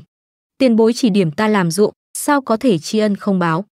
Tiêu Thiết Trụ khăng khăng đưa linh mễ, nói, ta đã báo danh, lên núi đào quạng, nhân tiện có thể mượn linh khí tăng tu vi. Chu Dịch nghe vậy thì cảm thấy hứng thú, cất linh mễ vào túi chữ vật, đứng trên đồng ruộng trò chuyện với Tiêu Thiết Trụ. Tại sao ngươi lại bước vào con đường tu hành? Tiêu Thiết Trụ tính tình thật thà, chưa từng nếm trải sự hiểm ác của tu tiên giới, lại cảm thấy Chu Dịch đối tốt với hắn, trực tiếp nói lai lịch của mình. Ta sống ở Sơn thôn. Hắn sống ở thôn dưới núi giáp với Vân Sơn, Tiêu Thiết Trụ từ nhỏ đã mất cha mẹ, sống nhờ vào hàng xóm láng giềng, sau khi trưởng thành thì khai hoang làm ruộng, miễn cưỡng cũng được ấm no. Mười năm trước, Tiêu Thiết Trụ đang đốn củi ở trên núi, nhìn thấy một đạo nhân bị trọng thương hấp hối. Đạo nhân tự biết bản thân không sống được bao lâu nữa, bói ra Tiêu Thiết Trụ có linh căn, truyền cho tiên đạo công pháp, rồi chỉ điểm hắn sau khi đạt đến luyện khí nhị tầng thì đến thành phố Tiểu Đan Sơn. Những trải nghiệm này dường như đã từng nhìn thấy mấy ngày trước. Chu Dịch hồi tưởng lại nhân vật chính trong thoại bản, dường như là cũng có trải nghiệm gần giống với Tiêu Thiết Trụ. Diện tích của Vân Châu rộng lớn vô biên, dân số có đến hàng tỷ người, có một hai người như vậy, đúng là chuyện bình thường. Chu Dịch an ủi bản thân hắn như vậy, dựa theo cốt truyện trong thoại bản, tu tiên giới thanh bình tĩnh lặng, sẽ rối thành một mớ hỗn độn cùng với sự xuất hiện của vai chính. Tiểu Đan Sơn đã hình thành hơn 20 năm, Chu Dịch hiện giờ có thể nói an toàn vô ưu, lại có đầy đủ tài nguyên tiền bạc, chỉ cần đợi thời gian trôi qua là có thể khiến tu vi tăng lên. 100 năm thay đổi một lần thân phận, 3 năm lần như vậy thì nhất định có thể đạt đến luyện khí viên mãn. Chu Dịch suy nghĩ đến đây, trả lại linh mễ, còn khuyên can hắn, tu vi của ngươi còn quá thấp, tạm thời đừng đi đào quạng, ít nhất cũng phải chờ đến khi đạt đến luyện khí hậu kỳ. Ta tuyệt đối sẽ không quên đại ân của tiền bối. Tiêu Thiết Trụ rơm rớm nước mắt, chỉ cảm thấy trong tu tiên giới có rất nhiều người tốt, căn bản không khó khăn và gian ác như lời của sư tôn. Chu Dịch luôn dặn dò Tiêu Thiết Trụ kiên nhẫn tu hành, thấy hắn liên tục gật đầu đồng ý, mới yên lòng. Trở lại động phủ. Trước cửa có một người đang đứng, chính là Lưu Hằng đến để xin học trận pháp. Bái kiến Chu sư. Đã nói trước là đừng như vậy, chúng ta coi nhau như là sư huynh đệ hoặc là thúc cháu. Chu Dịch cười xua tay, tay bắt pháp quyết mở trận pháp động phủ. Trong động phủ thảo dược sinh trưởng phong phú, Chu Dịch vừa chăm sóc dược điền, vừa giảng giải cho Lưu Hằng trận pháp chi đạo. Ước chừng sau hai canh giờ, Lưu Hằng đứng trong dược điền nghe xong bài học, cuối cùng là nhịn không được hỏi, trận đạo của sư thúc Huyền Diệu, theo lý thì nên nghiên cứu chuyên sâu về trận đạo mới đúng, tại sao lại thích làm ruộng? Ta đang nhắc nhở chính mình, đừng quên ước nguyện ban đầu. Chu Dịch cho rằng làm ruộng cũng hề thua kém gì với việc tu tiên, nó có nguồn gốc từ thời thượng cổ, tương lai mấy ngàn mấy vạn năm sau vẫn sẽ không biến mất. Cho dù đất trời có thay đổi, thì chuyện làm ruộng cũng sẽ không thay đổi, cùng lắm thì chỉ thay đổi mấy loại hạt giống mà thôi. Hôm sau, Chu Dịch tới văn phòng đi làm, phát hiện có người chờ ở quầy. Kẻ luyện thi si tình, Lãnh Vân. Tham kiến Lãnh sư huynh. Vẻ mặt Chu Dịch lạnh lùng, không muốn qua lại quá nhiều với Lãnh Vân. Tuy rằng chuyện vợ chồng Lãnh Vân tình thâm đáng để kính nể, nhưng mà quá kỳ dị bất thường tất sinh chuyện, không hề phù hợp với tính thích an ổn của Chu Dịch. Lãnh Vân không hề ỉ mạnh hiếp yếu, ngược lại khom người chắp tay, hôm qua đã khiến Chu đại sư sợ hãi rồi, Lãnh mỗ xin lỗi. Chu Dịch nghiêng người, nói, thi lễ với người, tất có điều cầu, Lãnh sư huynh cứ nói thẳng đi. Lãnh Vân nói, nghe bàng đạo hữu nói, Chu đại sư có thể bố trí một tiểu ngũ hành trận, lực phòng ngự trong ngoài kinh người. Đúng là có việc này. Chu Dịch hơi gật đầu, chỉ mới lĩnh ngộ thông suốt, vì tài nguyên bày trận quá quý giá nên chưa từng bố trí. Lãnh Vân nói, tài nguyên bày trận thì ta sẽ mua, có thể chuẩn bị 3 phần, có thể nhờ Chu đại sư ra tay được không? Chu Dịch yên lặng tính toán, ba phần tài nguyên theo lý thì không có gì ngại, cho dù có luyện hỏng hết thì có thể dùng linh thạch để bồi thường, có được kinh nghiệm bày trận vào tay thì không hề lỗ. Có thể, ngoài ra còn cần thêm phí là 500 khối linh thạch. Lãnh Vân do dự một lát, nói, mấy ngày nay, nương tử tấn trước đồng thi, đã mua một lượng lớn huyết nhục của yêu thú, rồi lại phải mua tài nguyên bày trận, linh thạch trong tay không đủ, có thể dùng pháp quyết gán nợ hay không? Phải xem đã. Chu Dịch rất tò mò, pháp quyết đăng cấp nào có thể có giá đến 500 khối linh thạch. Lãnh Vân nói, huyền âm luyện thi thuật cùng với tâm đắc luyện thi của ta. Chu Dịch lập tức cạn lời, liên tục lắc đầu cự tuyệt, bần đạo một lòng hướng thiện, tuyệt đối không sẽ tu hành tà ma công pháp, chớ nói đến luyện thi, mà khi nhìn thấy thi hài của đồng đạo, ta đều sẽ siêu độ một phen. Lãnh Vân tu hành luyện thi thuật về tình thì có thể chấp nhận, huống hồ gì hắn cũng không sợ chết. Chu Dịch vô cùng ham sống, trong khu vực mà chính đạo thống trị, tuyệt đối sẽ không tiếp xúc với bất kỳ thứ tà ma ngoại đạo nào cả. Không ít tu sĩ của tông môn chính đạo ghét cái ác như ghét kẻ thù, thề phải tiêu diệt tất cả tà ma ngoại đạo. Nhìn thấy có người tu hành luyện thi tà pháp, không cần nghe giải thích, trực tiếp tiễn vào đường luân hồi tẩy rửa tội nghiệt. Lãnh Vân nghe vậy thì vẻ mặt âm trầm, nói: "Sau khi nương tử của ta tấn chức đồng thi, thì sẽ xuất hiện không ít hung tính. Ta không dám rời đi động phủ, trong thời gian ngắn không thể gom đủ 500 khối linh thạch." Chu Dịch nghi ngờ nói: "Tại sao ngươi lại không mang nàng theo?" Huyền Lâm chân nhân có thể chấp nhận chuyện ta luyện thi, đã là thiên đại ân đức. Lãnh Vân giải thích nói, để tránh làm bẩn danh tiếng của Tiểu Đan Sơn, trước khi nương tử sinh linh trí, không thể rời khỏi phạm vi của động phủ. Chu Dịch thấy vẻ mặt hắn đầy chua xót, trong lòng không nhìn được mà khâm phục. Nghe đồn Lãnh Vân có thiên phú phú linh căn rất tốt, tu hành hơn 20 năm cũng đã đạt đến luyện khí viên mãn, nếu không tu hành luyện thi chi thuật, có thể trực tiếp gia nhập Đan đỉnh tông. tha từ bỏ tiền đồ tươi sáng, cũng phải hồi sinh thê tử đã mất, mà hành động lại theo nguyên tắc, từ lúc bắt đầu đến bây giờ chưa từng ép buộc Chu Dịch bày trận. Nhiều điều như vậy, rất khó khiến cho người ta không nảy sinh hảo cảm. Chu Dịch hỏi, "Lãnh sư huynh, ngươi còn có những pháp quyết khác không?" Lãnh Vân bất đắc dĩ nói, mấy năm nay tu hành đều dựa vào việc đả tọa, linh thạch kiếm được bằng việc làm ruộng gần động phủ, đều đổ hết vào người nương tử rồi, cuốn huyền âm luyện thi thuật đã thứ đáng tiền nhất rồi. Chu Dịch nhất thời không thể nào phân biệt ra được, có phải Lãnh Vân đang chế nhạo hắn hay không. Bắt đầu từ võ đạo tiên thiên tu hành đến nay, gần 110 năm khổ tu, mới chỉ đạt đến tu vi luyện khí tứ tầng. Huyền âm luyện thi thuật kia xuất phát từ đâu? Lấy được từ trên người chân truyền của Huyền Âm Tông. Lãnh Vân lấy ra bốn năm miếng ngọc bội từ trong túi chữ vật, nói, rất nhiều linh vật luyện thi do người đó để lại, đã dùng trên người nương tử của ta, chỉ còn sót lại mấy loại pháp quyết, chẳng có mấy công dụng. Chu Dịch tiếp nhận ngọc bội, quan sát từng cái. Chi phí 500 khối linh thạch để bày trận, có thể từ từ trả sau, với thực lực cùng tính cách của Lãnh Vân hẳn là sẽ không quỵt nợ. Người gần 150 tuổi đầu rồi, vậy mà lại còn có cảm xúc, chỉ một lần này thôi, sau này sẽ như người dưng nước lã với Lãnh Vân. Suy nghĩ xoay chuyển rất nhanh, đã xem hết ngọc bội. Trong số này lần lượt là âm phong chú, huyết linh võng, luyện binh quyết, ngọc lộ quyết. Hai cái đầu tiên coi xong cái tên thì trực tiếp bỏ qua, tu hành tà ma công pháp cũng không phải là chuyện lén lút sử dụng là có thể giấu được. Như Lãnh Vân, luyện thi lâu rồi sẽ bị nhiễm một thân âm khí, khí tức căn bản là không thể che giấu được. Cái thứ ba là luyện binh quyết, sắc mặt Chu Dịch hơi biến hóa. Thôn Thiên Ma Công. Nội dung đoạn đầu của luyện binh quyết cực kỳ giống với Thôn Thiên Ma Công, hoặc có thể gọi là bản hoàn chỉnh, bởi vì nó không chỉ có thể cắn nuốt nội khí. Chu Dịch kiềm chế sự kinh hãi tiếp tục xem, thì ra luyện binh quyết lại là bí thuật tế luyện đạo binh, sau khi phàm nhân cắn nuốt những khí tức hậu thiên như là nội khí, sát khí, âm khí, đạt tới một mức độ nhất định có thể cưỡng ép dẫn linh khí nhập thể, đột phá tầng thứ nhất của luyện khí.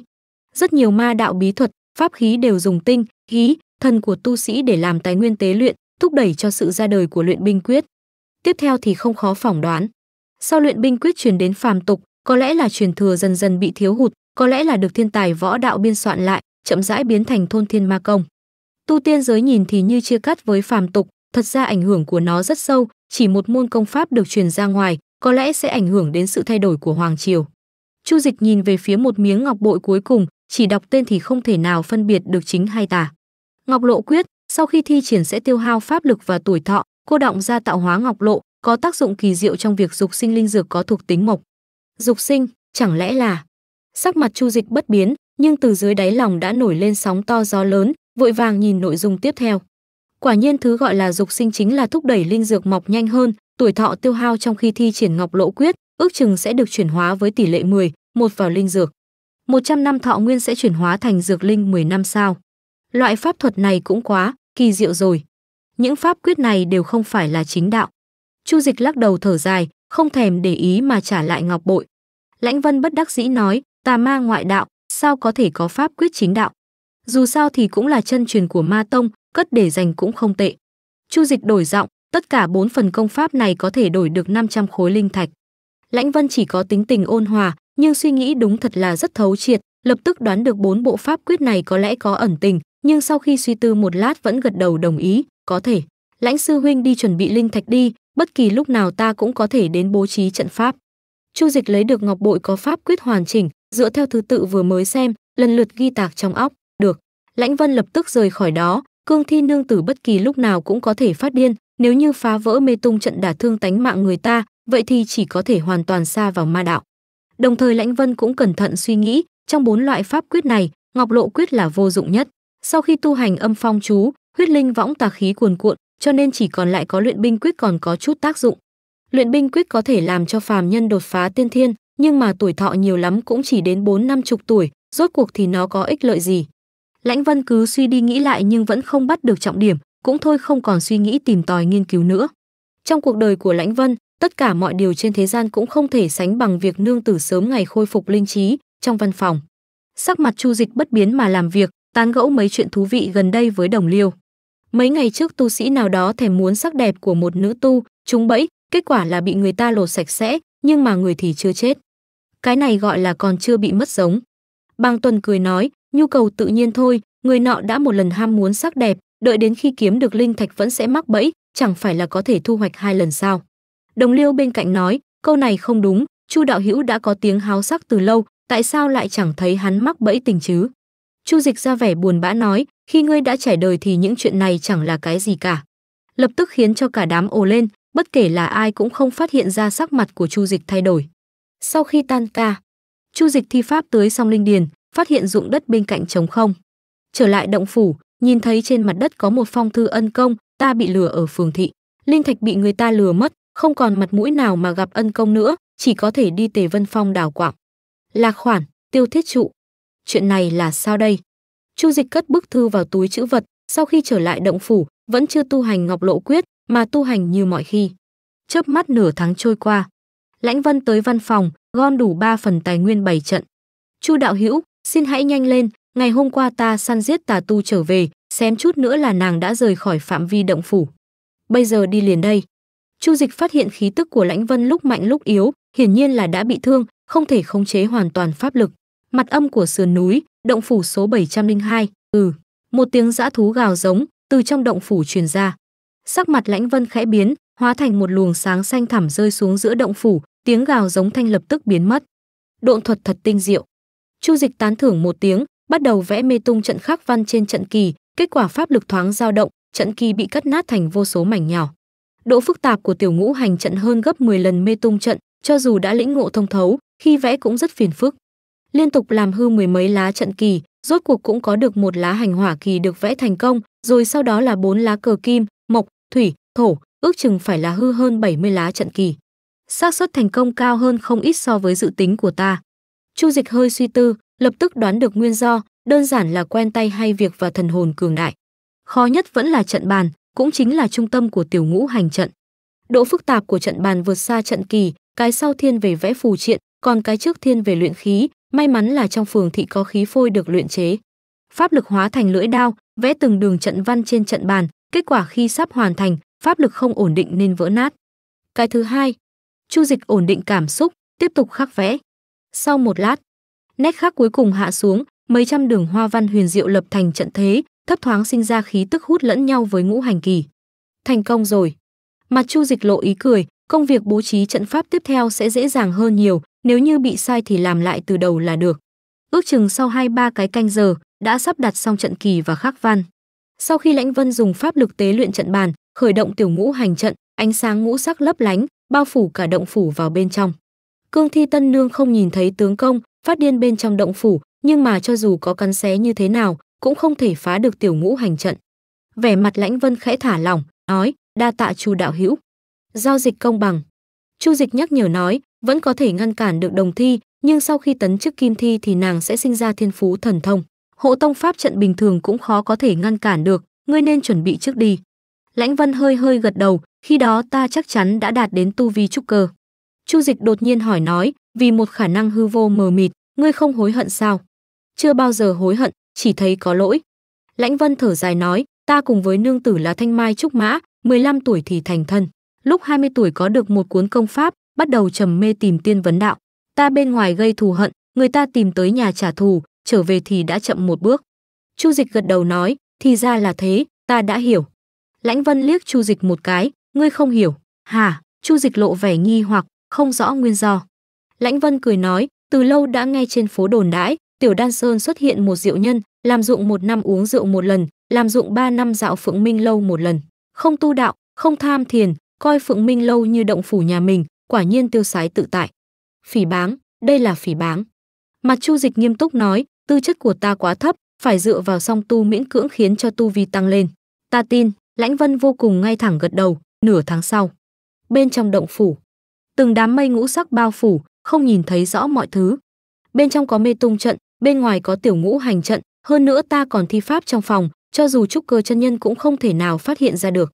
Gạch lót sàn trước mắt của Chu Dịch đã bị đào lên, trên đất trồng linh dược có thuộc tính mộc, linh sâm.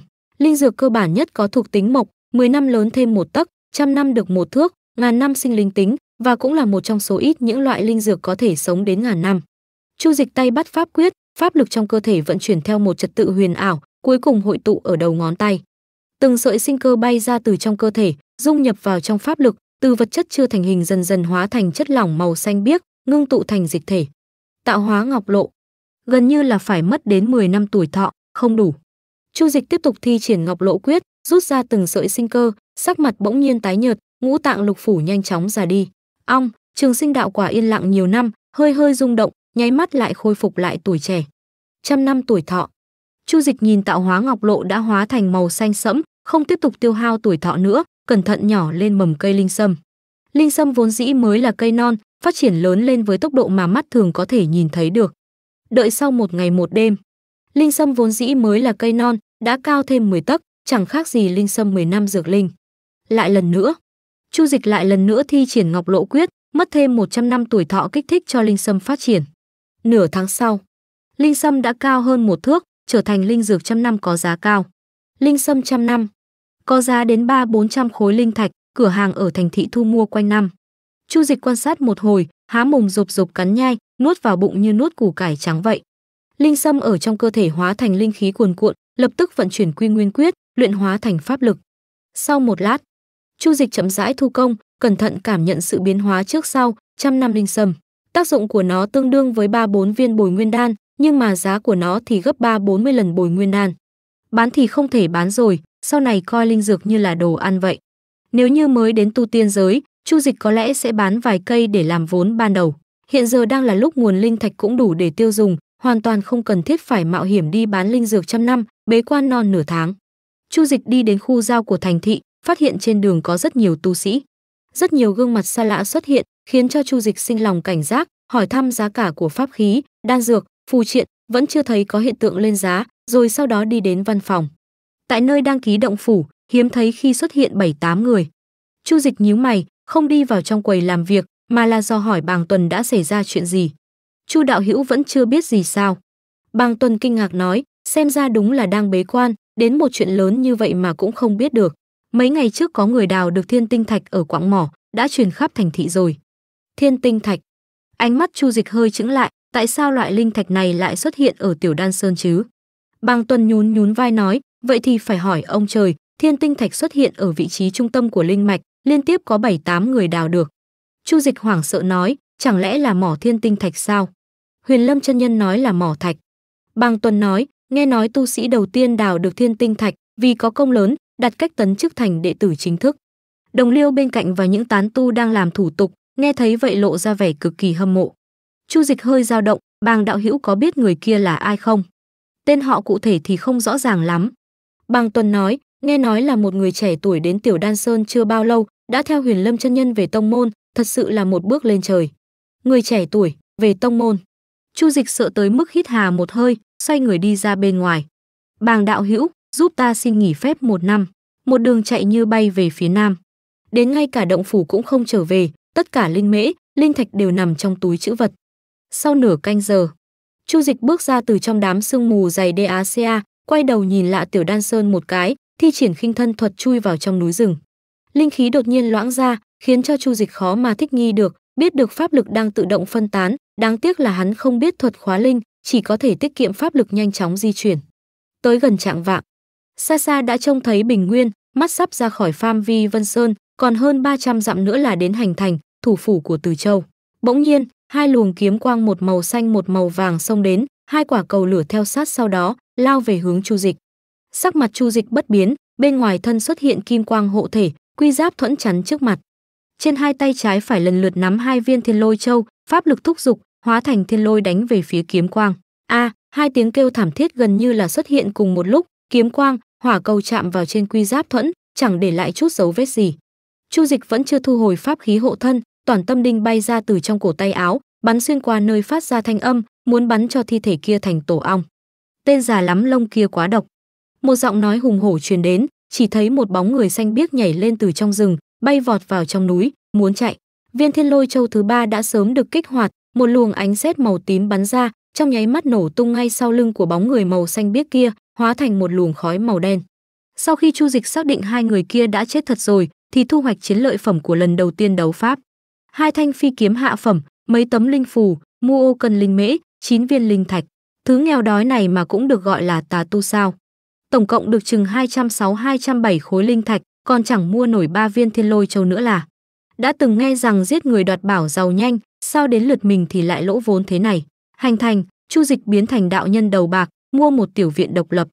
Nửa tháng sau, sau khi Chu Dịch bố trí xong tụ linh trận, vứt mười mấy khối linh thạch vào trong viện, phát ra linh khí nồng đậm. Tụ linh trận thu hút linh khí, rồi tập trung hết chúng vào trong tiểu viện này, Chu Dịch thử vận chuyển Quy Nguyên Quyết, pháp lực lại có tinh tiến. Luyện khí tầng tư, yêu cầu về độ đậm đặc của linh khí không cao, có hơn 200 khối linh thạch dự trữ thì cũng chẳng sợ dùng hết. Chỉ là bản thân tụ linh trận cũng đang tan biến, nhiều nhất thì sau 4 năm, cần phải thay đổi trận kỳ. Chu Dịch nhìn về phía bắc của Vân Sơn, suy tư cân nhắc. Huyền Lâm chân nhân trở về Đan đỉnh tông đưa tin, theo lý thì một vài năm là có thể trở về. Nếu 3 4 năm không có tin tức, vậy thì đến vực Thiên Dương ở phía nam của Sở Quốc, cũng là thành thị nằm dưới trướng của Đan đỉnh tông, đảo mắt đã nửa năm trôi qua. Mùa đông khắc nghiệt, bông tuyết bay phất phới. Ba tánh ngõ lục liễu, phát hiện cây liễu trong ngõ lại vẫn giữ được màu xanh biếc. Một cảnh lạ như vậy có thể gọi là điềm lành. Từ Châu Mục mang theo người đọc sách đến đó xem, dùng chuyện này làm ra không ít thơ từ, chuẩn bị trình lên Nguyên Chu Đế để bày tỏ sự trong sạch của quan lại địa phương. Nguyên Chu Đế là con vợ cả của Thánh Hoàng, đã đăng cơ được 5 năm. Nghe đồn là Thánh Hoàng và Thánh Hậu chủ động thoái vị, nếu không nói không chừng Nguyên Chu Đế đã chết trước rồi, vào đêm, gió lạnh lạnh thấu xương. Chu Dịch ngồi xếp bằng trong tiểu viện dốc lòng tu hành, bỗng nhiên trong lòng rung lên, công pháp đình trệ. Sao lại thế này? đột nhiên bay lên cao 10 trượng, nhìn về phía bắc. Trên bầu trời sâu thẳm đột nhiên xuất hiện một vòng mặt trời chói chang, rồi sau đó rơi xuống, thiên địa chấn động. Ong, ba tánh hành thành đột ngột bừng tỉnh từ trong giấc mộng, tiếng chó sủa, gà gáy vang lên liên tục, trầm bỗng. Thành thị đang yên tĩnh trong nháy mắt trở nên ồn ào náo động hỗn loạn.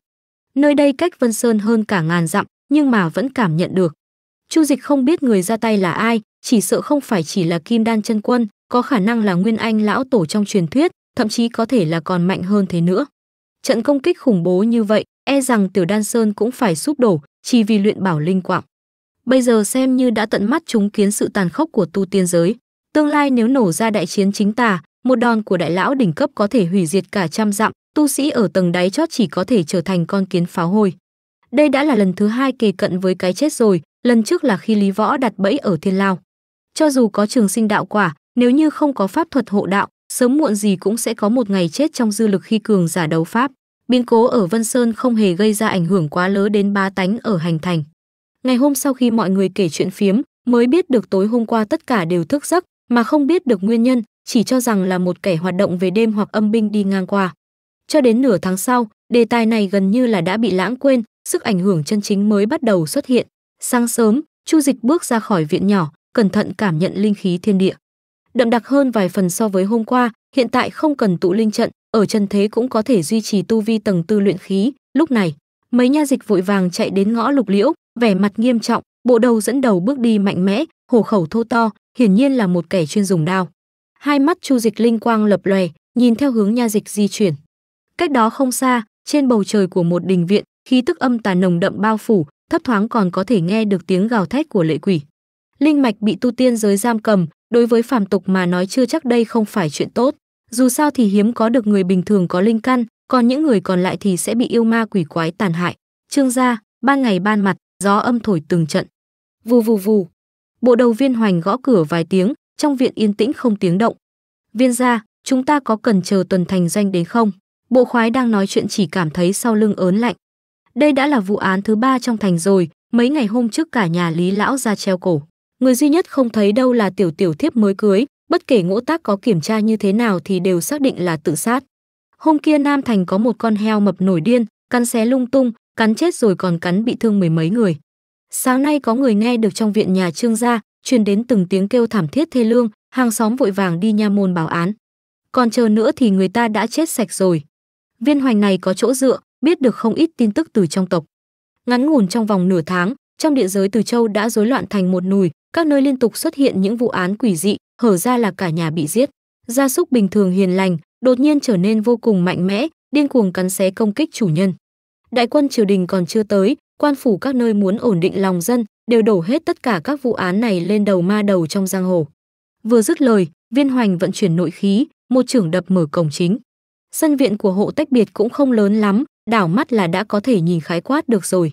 Tĩnh mịch, yêu lặng, giống như đã rất lâu rồi chưa có người ở, không hề có sức sống. Viên Hoành đè đao trên eo, tin tức truyền đến từ trong tộc, võ giả nội khí có lực sát thương không hề nhỏ với yêu ma quỷ quái. Bọn bộ khoái do dự một lát, cũng cất bước theo đi vào. Xương phòng không có người. Gà trong chuồng đều đã chết.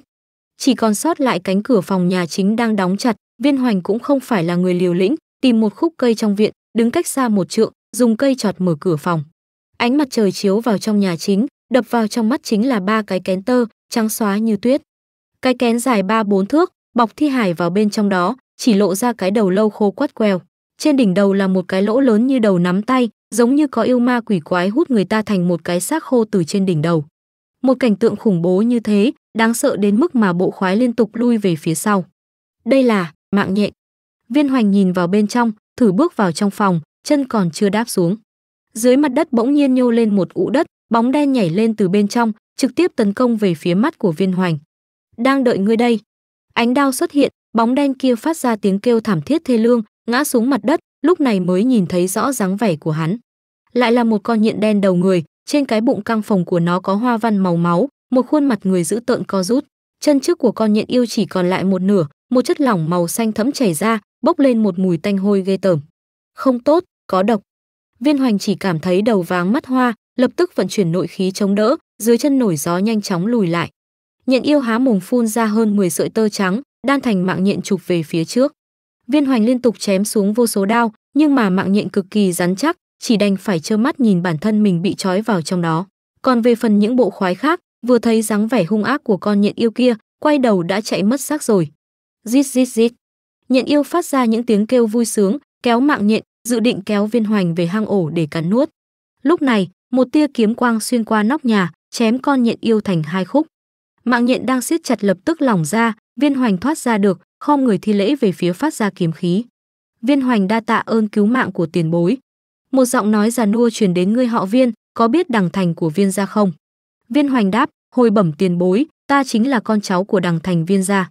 Chu Dịch dừng lại một chút rồi lại hỏi, chỉ mới vài thập niên, Viên gia đã suy bại đến mức này rồi sao? Viên gia có công khai quốc phủ vua, sau khi Lý Hồng đăng cơ đã truy phong Viên Thuận làm hầu gia. Tại sao con cháu của hắn lại sống tệ đến vậy, cũng không đến nổi phải trở thành những quan chức thấp kém như ở nha môn mới phải. Từ sau khi Thanh Hoàng nhường ngôi, sau khi đương kim bệ hạ đăng cơ, tộc trưởng tuân theo di ngôn của Thái gia, thu hẹp thế lực của Viên gia ở Từ Châu, chỉ hoạt động ở quê nhà của Đằng Thành. Viên Hoành nói, Vãn Bối chỉ là con vợ lẽ của chi nhánh, có thể tu thành võ đạo, là đã được người trong tộc chiếu cố rồi. Thì ra là thế, không tồi, không tồi. Chu Dịch hỏi thăm xong tin tức về hậu nhân của Viên Thuận rồi thì ti sái rời khỏi đó.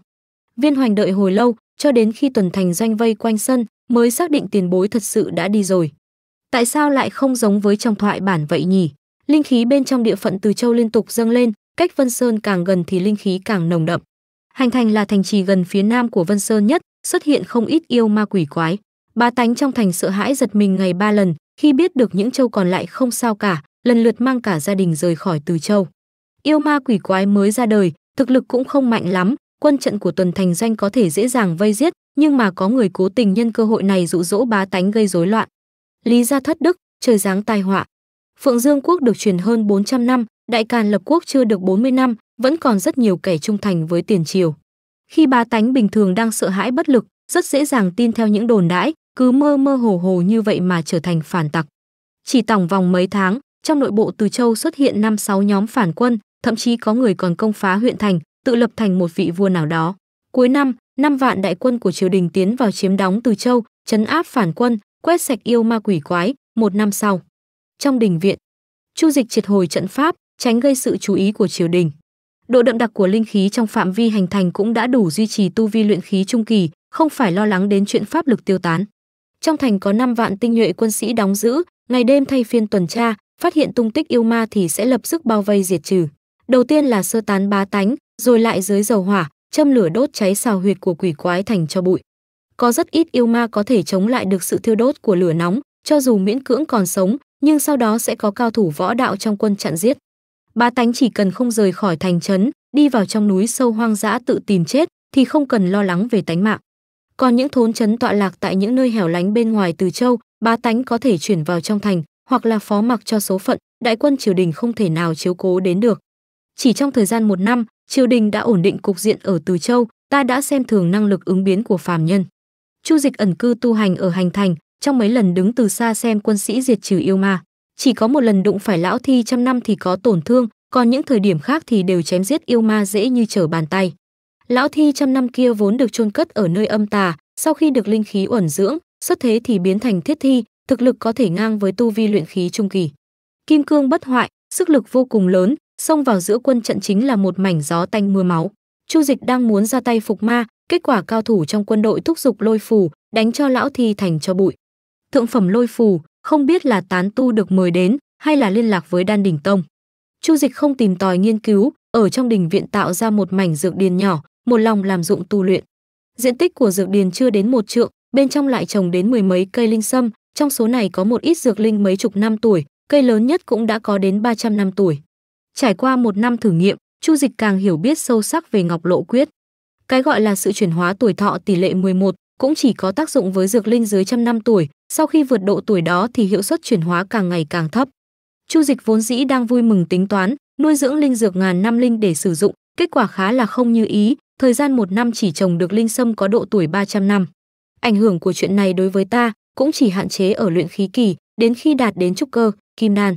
Mỗi lần tiêu tốn mấy trăm năm tuổi thọ thi triển Ngọc Lộ Quyết, có dù mức chuyển hóa có kém đến mức nào thì cũng làm tăng lên vô số năm tuổi thọ của dược linh. Tiếp theo sau đó cũng chịu sự hạn chế của pháp lực, tạo hóa ngọc lộ dung nhập càng nhiều tuổi thọ, pháp lực tiêu hao cũng nhiều hơn. Trải qua nhiều lần thử nghiệm, Chu Dịch phát hiện ra rằng thứ linh sâm hấp thụ không chỉ có tuổi thọ, mà cũng dùng pháp lực để thay thế linh khí sinh trưởng, hóa thành một bộ phận của dược linh. Nhưng mà những hạn chế này đều không phải là vấn đề đối với ta, cho dù mỗi ngày chỉ thi pháp một lần, cùng lắm thì cũng chỉ phải đợi thêm mấy năm mà thôi. Dược linh chỉ cần còn phát triển, cho dù tỷ lệ chuyển hóa là 100 đổi một hay là 1000 đổi một, cũng có thể chấp nhận được. Nghĩ đến đây, Chu Dịch nhổ một gốc linh sâm trăm năm từ dược điền lên, cắt thành lát sâu lại với nhau đặt lên vỉ than mà nướng. Năng lực thích ứng của con người thật sự là rất mạnh, chỉ trong một năm ngắn ngủn, Chu Dịch đã nghĩ ra 7-8 cách chế biến linh sâm, ví dụ như là món linh sâm cắt lát nướng với hạt thìa là này. Cần phải đưa luyện đan thuật vào rồi, có đổi mới đa dạng như thế nào đi nữa, thì ai mà ăn củ cải đến vài thập niên được chứ, sáng sớm, tử khí đông lai. Chu Dịch tỉnh lại sau giấc ngủ, mặc quần áo rửa mặt, trà nồi nhặt rau, không hề thi triển bất kỳ loại pháp thuật nào. Ước chừng nửa canh giờ sau, mùi thơm của cháo linh sâm thơm nứt cả mũi. Buổi sáng thì không nấu đồ ăn, làm món linh sâm thái sợi trộn rau diếp cá, còn có linh sâm muối mấy ngày trước có lẽ cũng đã dậy vị rồi. Chu Dịch giống như một người già cô đơn vậy, ăn cháo với dưa muối, đồ ăn vào trong miệng hóa thành linh khí nồng đậm. Tu hành Quy Nguyên Quyết đã được 120 năm rồi, còn nhuần nhuyễn hơn cả người sáng tạo ra nó nữa, vừa ăn vừa vận công, pháp lực tầng 9 của luyện khí tăng tiến vững chắc. Qua thêm 20 năm nữa thì cũng gần như là có thể đạt đến cảnh giới luyện khí đại viên mãn. Cố nén cảm giác buồn nôn ăn xong cơm nước, Chu Dịch cẩn thận ngửi trên người hắn, thấp thoáng còn phát ra mùi của linh sâm. Cứ ăn như vậy hoài, có khi nào một ngày nào đó lại biến thành linh sâm tinh không nhỉ? Bên trong mảnh dược điền nhỏ kia, một gốc linh sâm to như bắp đùi đã thành hình của một đứa con nít, màu vỏ của nó vàng kim, linh vận lưu chuyển. 20 năm liên tục không ngừng kích thích sinh trưởng, dược linh đã gần đạt đến 800 năm tuổi, Chu Dịch vẫn không nỡ ăn nó, muốn nếm thử xem mùi vị của linh dược ngàn năm có trở nên ngon hơn không. Tuổi thọ dài lâu vô tận, chỉ có thể tìm loại thú vui đặc biệt tiêu tốn thời gian này mà thôi. Buổi trưa, Chu Dịch chắp tay sau lưng ra cửa, trên đường gặp được người quen thì đánh tiếng chào hỏi, nói chuyện. Không nhanh không chậm, không sầu không lo. Một đường đi vào tiên vị trai. Từ đằng xa đã nghe thấy âm thanh của sự ồn ào náo động náo nhiệt, rất nhiều công tử, lão gia quần là áo lụa, không ngừng hối tiểu nhị lên đồ ăn nhanh lên. Sau khi Chu Dịch bước vào bên trong, tìm một vị trí trong góc, mở thực đơn ngày hôm nay ra. Pin hắc hổ, 300 lượng một lát, chẹp chẹp, rõ ràng tim của con hổ mới là thứ có thể cường thể tráng cốt nhất, một đám không biết nhìn hàng, chọn 10 lát nếm thử đã. Liên tiếp gọi 5 món ăn, giá cả đã hơn vạn lượng bạc trắng, dặn dò tiểu nhị đừng bỏ thêm nhân sâm. Bạc trắng vẫn chưa lạm phát ở phàm tục, mà thức ăn của tiên vị trai đều dùng máu thịt của yêu thú làm nguyên liệu. Rồi lại bỏ thêm nhân sâm, đương quy, linh chi, hà thủ ô, bán mấy trăm lượng một bản cũng không đắt. Từ sau khi có tin đồn rằng máu huyết của yêu thú có thể cũng cố nuôi dưỡng căn nguyên, giá cả đã bị hét lên đến hơn một ngàn lượng bạc một bàn. Vốn dĩ là yêu thú xuống núi ăn thịt người, hiện tại thì giang hồ cao thủ kết bè kết đội, vào núi săn yêu, lột da rút xương, giá cả của nó còn hơn cả vạn bạc nữa. 20 năm nhanh như một cái nháy mắt. Linh mạch ở Tiểu Đan Sơn đã tạo ra sự ảnh hưởng về mặt xã hội cho bá tánh hành thành. Trên thị trường lưu truyền không ít truyền thuyết về tiên nhân, nơi chia cắt hai giới tiên, phàm nằm ở biên giới Từ Châu.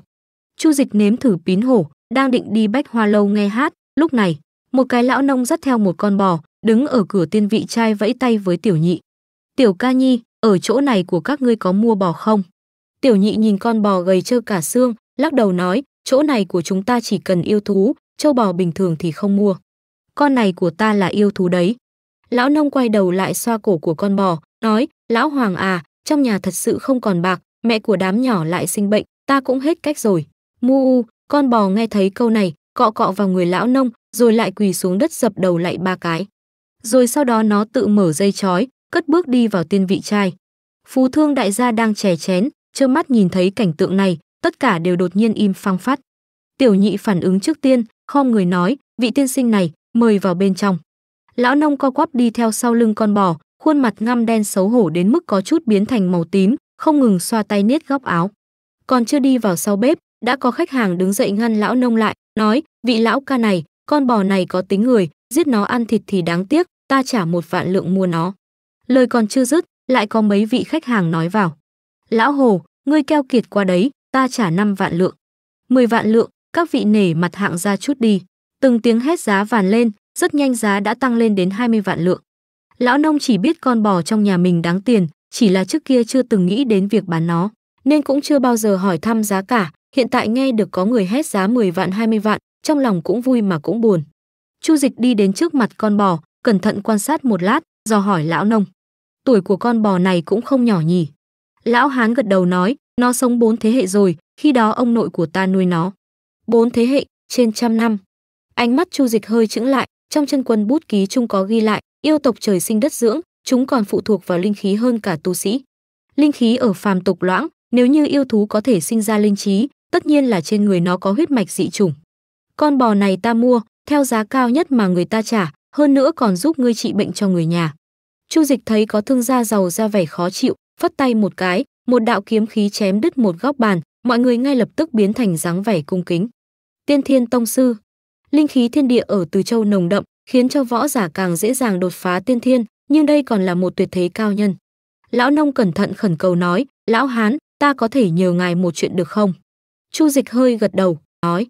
Lão hán nói, ngài có thể đừng giết lão hoàng được không? Nó rất biết nghe lời, ăn cũng ít. Khi còn nhỏ đi chăn bò, gặp phải bầy sói, là do lão hoàng cứu ta một mạng đấy. Chu Dịch đồng ý nói, yên tâm, ta chẳng những sẽ không giết nó, mà còn sẽ nuôi nó cho nó ăn uống.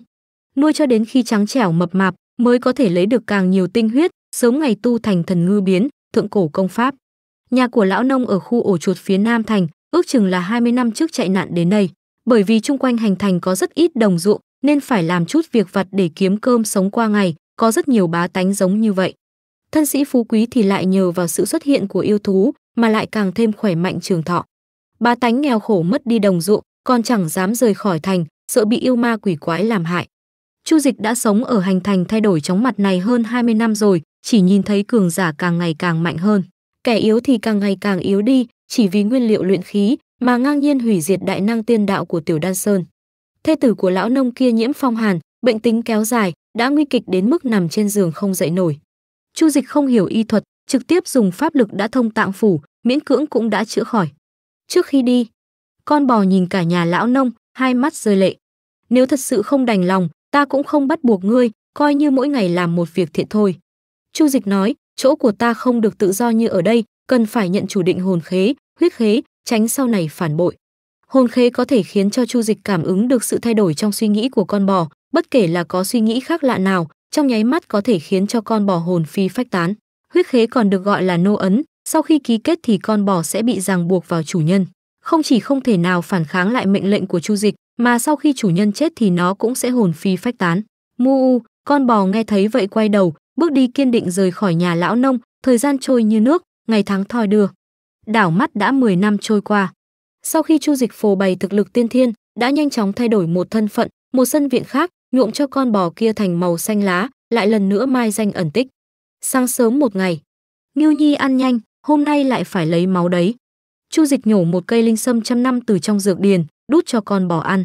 Con bò béo lên vài vòng so với 10 năm trước, thân hình khỏe mạnh, cơ bắp cuồn cuộn, nhìn rất là uy vũ hoành tráng. Nhưng mà sau khi nghe thấy lời Chu Dịch, mặt của nó lập tức co rúm lại thành một chữ khổ, không hề muốn mà nuốt linh sâm vào trong bụng. Ngu.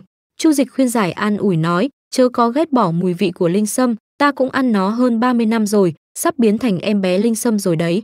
Đúng lúc này, linh khí thiên địa bỗng nhiên bay về phương bắc, bởi vì tốc độ di chuyển quá nhanh, thậm chí còn phát ra tiếng gió rít gào. Chu Dịch nhìn về phía Vân Sơn, lẩm bẩm nói: Tụ linh đại trận Tiểu Đan Sơn đã khởi động lại, cơ duyên kiếp nạn lần này của bá tánh Từ Châu cuối cùng cũng sắp kết thúc rồi sao?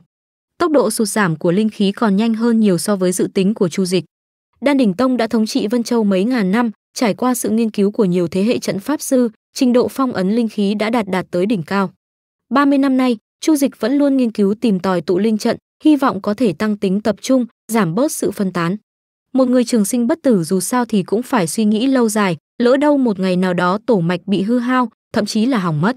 Linh mạch dựa vào nó làm căn cơ cũng sẽ khô cạn, khi nó không thể nào xuất hiện được thì mỗi một ngụm linh khí đều đủ quý giá. Đan đỉnh tông nổi tiếng về thuật luyện đan, đúng lúc phối hợp với Ngọc Lộ Quyết, lại có truyền thừa của trận pháp này.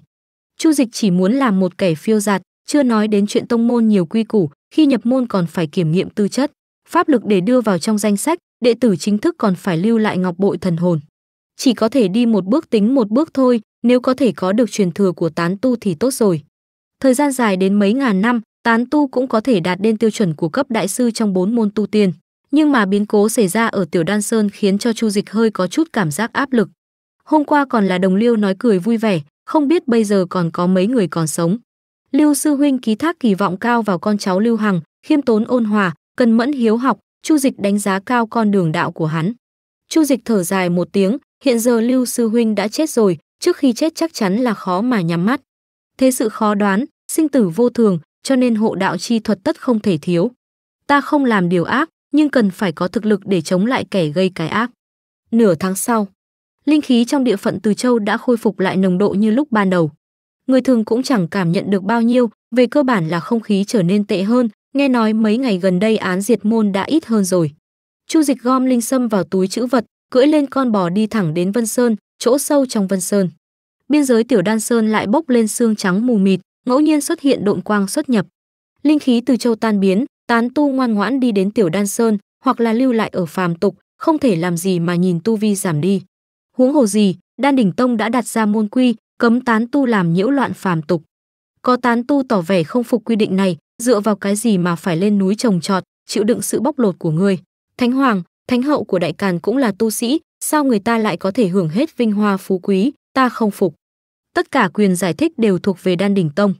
Phu thê Lý Hồng thủ hộ đại càn, đó là vứt bỏ con đường bảo hộ phàm nhân, thuộc về nghĩa cử can đảm, hy sinh to lớn. Những tán tu trà trộn vào phàm tục, đó chính là làm trái với quy định của Đan đỉnh tông quy củ, thuộc về tà ma ngoại đạo, bị người người đuổi đánh. Chu Dịch ở bên ngoài quan sát mấy tháng, cản đường mấy tán tu, phô bày uy áp luyện khí hậu kỳ, đối phương ngoan ngoãn khai ra tình hình bên trong. Khó trách đợi 30 năm, cao nhân trận pháp của Đan đỉnh tông bố trí cấm chế, mới miễn cưỡng bảo vệ được linh mạch. Ngay cả như vậy, linh khí cũng đã sụt giảm cực kỳ nghiêm trọng, độ đậm đặc của linh khí cũng chỉ bằng 4 năm phần của trước kia sao.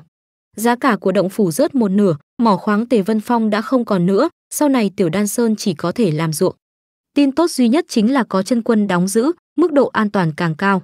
Sau khi Chu Dịch xác định được sự an nguy, biến thành một đạo nhân trung niên, dắt theo con bò lại lần nữa tiến vào Tiểu Đan Sơn. Thứ đầu tiên đập vào mắt vẫn là linh điền, linh mễ chưa chín tới, gió nhẹ thổi qua mạ non, phảng phất thổi qua một hồ xuân thủy. Một đường đi vào khu giao dịch. Nó được xây dựng lại từ đống đổ nát, cẩn thận quan sát những cửa hàng may mắn còn chưa bị phá hủy, còn có thể phát hiện ra những vết cháy đen. Chu Dịch do hỏi giá cả của linh vật ở các cửa hàng, giá cả của linh đan, pháp khí hạ đẳng đúng là có chút thấp. Linh khí phân tán khắp từ châu, trong vòng 30 năm mọc lên một ít linh dược cấp thấp. Trước kia cũng có tán tu tổ chức họp chợ ở phàm tục để giao dịch linh vật tu hành, Chu Dịch cũng đã từng nghe nói nhưng chưa bao giờ đến nó. Cho dù nơi đó không phải hắc điếm, nhưng vì không có trúc cơ chân nhân tọa chấn, sớm muộn gì cũng sẽ bị tà tu lợi dụng. Đây chỉ là khó khăn trong thời gian ngắn, sau khi độ đậm đặc của linh khí giảm xuống, rồi sau đó dược điền chắc chắn sẽ bị giảm sản lượng. Lại không có linh quạng, sau vài thập niên, giá cả đan dược pháp khí ít nhất cũng sẽ tăng gấp đôi. Nếu không có Ngọc Lộ Quyết, Chu Dịch chắc chắn đã mua một đống linh vật, vài thập niên sau là có thể lời to. Giá trị đầu tư là bạn của thời gian mà. Hiện tại Chu Dịch chú trọng hơn đến tứ nghệ trong tu tiên, cho dù khó lấy được thuật luyện đan, ít nhất phải trở thành linh chủ trước. Không ít tán tu đang bày hàng bán pháp quyết, bí thuật, xem ra lần này Tiểu Đan Sơn bị phá hủy, có không ít truyền thừa trôi giạt ra ngoài. Chu Dịch nghe các tu sĩ nói chuyện phiếm, sau khi thuê linh điền trồng trọt, cần phải tỉ mỉ cày bừa đất đai một lần, chưa biết chừng còn tìm được di vật của tiền nhân, không những có công pháp, linh thạch. Đan đỉnh tông coi đây là một mánh khóe, rất nhanh đã khôi phục lại sự phồn vinh của thành thị. Chu Dịch đi ngang qua phòng làm việc, nhìn thấy thông báo trước cửa, nội dung của nó giải thích về lần đại kiếp nạn này. Cùng với sự giải quyết của Đan Đình tông, cuối cùng bảo đảm là sẽ không để xảy ra những chuyện như vậy nữa. Chân Dương Ma Tôn, thái thượng trưởng lão của Thiên Ma cung ở Ký Châu. Chu Dịch nhớ kỹ tên này, chờ đến khi hắn chết đi tọa hóa, chạy đến mồ mã của hắn nhảy múa ăn mừng. Chủ động đến tận nơi báo thù tuyệt đối là không thể, cho dù tu vi có hơn cả chân dương ma tôn, đánh người này thì còn có người khác, không đâu lại kết thù với thiên ma cung. Rốt cuộc là do vị chân quân nào tọa chấn, cũng không thấy thông báo. Chu dịch nhíu mày, nói một cách công bằng, bản thân hắn không muốn quá thân cận với chân quân. Thuật biến hóa cũng chỉ có thể qua mắt được tu sĩ bình thường, nhưng không lừa gạt được thần thức của chân quân. Chẳng qua cũng chỉ là một tu sĩ luyện khí kỳ nhỏ nhoi mà thôi, chỉ cần không xuất hiện ở Tiểu Đan Sơn hai ba trăm năm, đường đường là một chân quân cũng lười quan tâm đến người.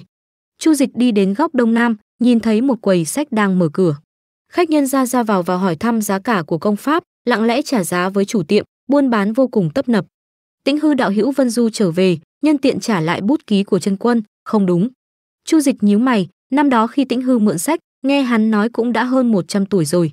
Hiện giờ đã qua 50 năm, nếu vẫn chưa đột phá cảnh giới trúc cơ thì đã thân tử đạo tiêu. Tĩnh Hư đứng bên kia vẫn là một đầu tóc đe nhánh, dường như năm tháng chưa hề để lại bất kỳ dấu vết nào trên người hắn. Thanh Tịnh, Tĩnh Hư, chân quân bút ký, chân quân đóng giữ. Chu Dịch mơ hồ đoán được, Tĩnh Hư chính là tên giả của Thanh Tịnh chân quân. Cho dù chỉ có một phần trăm khả năng, cũng không thể mạo hiểm. Tu sĩ luyện khí bình thường kết giao với cùng chân quân, đó là một cơ duyên to lớn, nhưng nếu như nó rơi trúng người mình có thể là một tử kiếp. Trên đời trước nay đều là được mất công bằng, có được lợi ích của việc trường sinh bất tử, cũng đã được định sẵn là sẽ mất đi một số thứ như là tình yêu, bạn bè. Nghĩ đến đây, Chu Dịch xoay người rời khỏi khu giao dịch, rồi lại thay đổi dáng vẻ, tiểu đan các. Trưởng quầy đang giới thiệu linh đan với tu sĩ, nhìn thấy một người đàn ông mập mạp tiến vào, liền xin lỗi khách hàng, vội vàng chạy đến tiếp đón. Tiền bối, xin hỏi cần giúp gì không ạ? Chỗ các ngươi có thu mua linh dược không? Chu Dịch để lộ tu vi luyện khí hậu kỳ, lấy ra hai gốc linh sâm, ước chừng bảy tám chục năm tuổi. Linh sâm thuộc về loại hình linh dược thông dụng, trưởng quầy chủ động tăng giá lên một chút, rất nhanh giao dịch đã hoàn thành. Trong thành thị có hai loại tu sĩ khó chọc vào được, đứng đầu là những kẻ tuổi thọ sắp hết, tiếp theo chính là tu sĩ luyện khí hậu kỳ.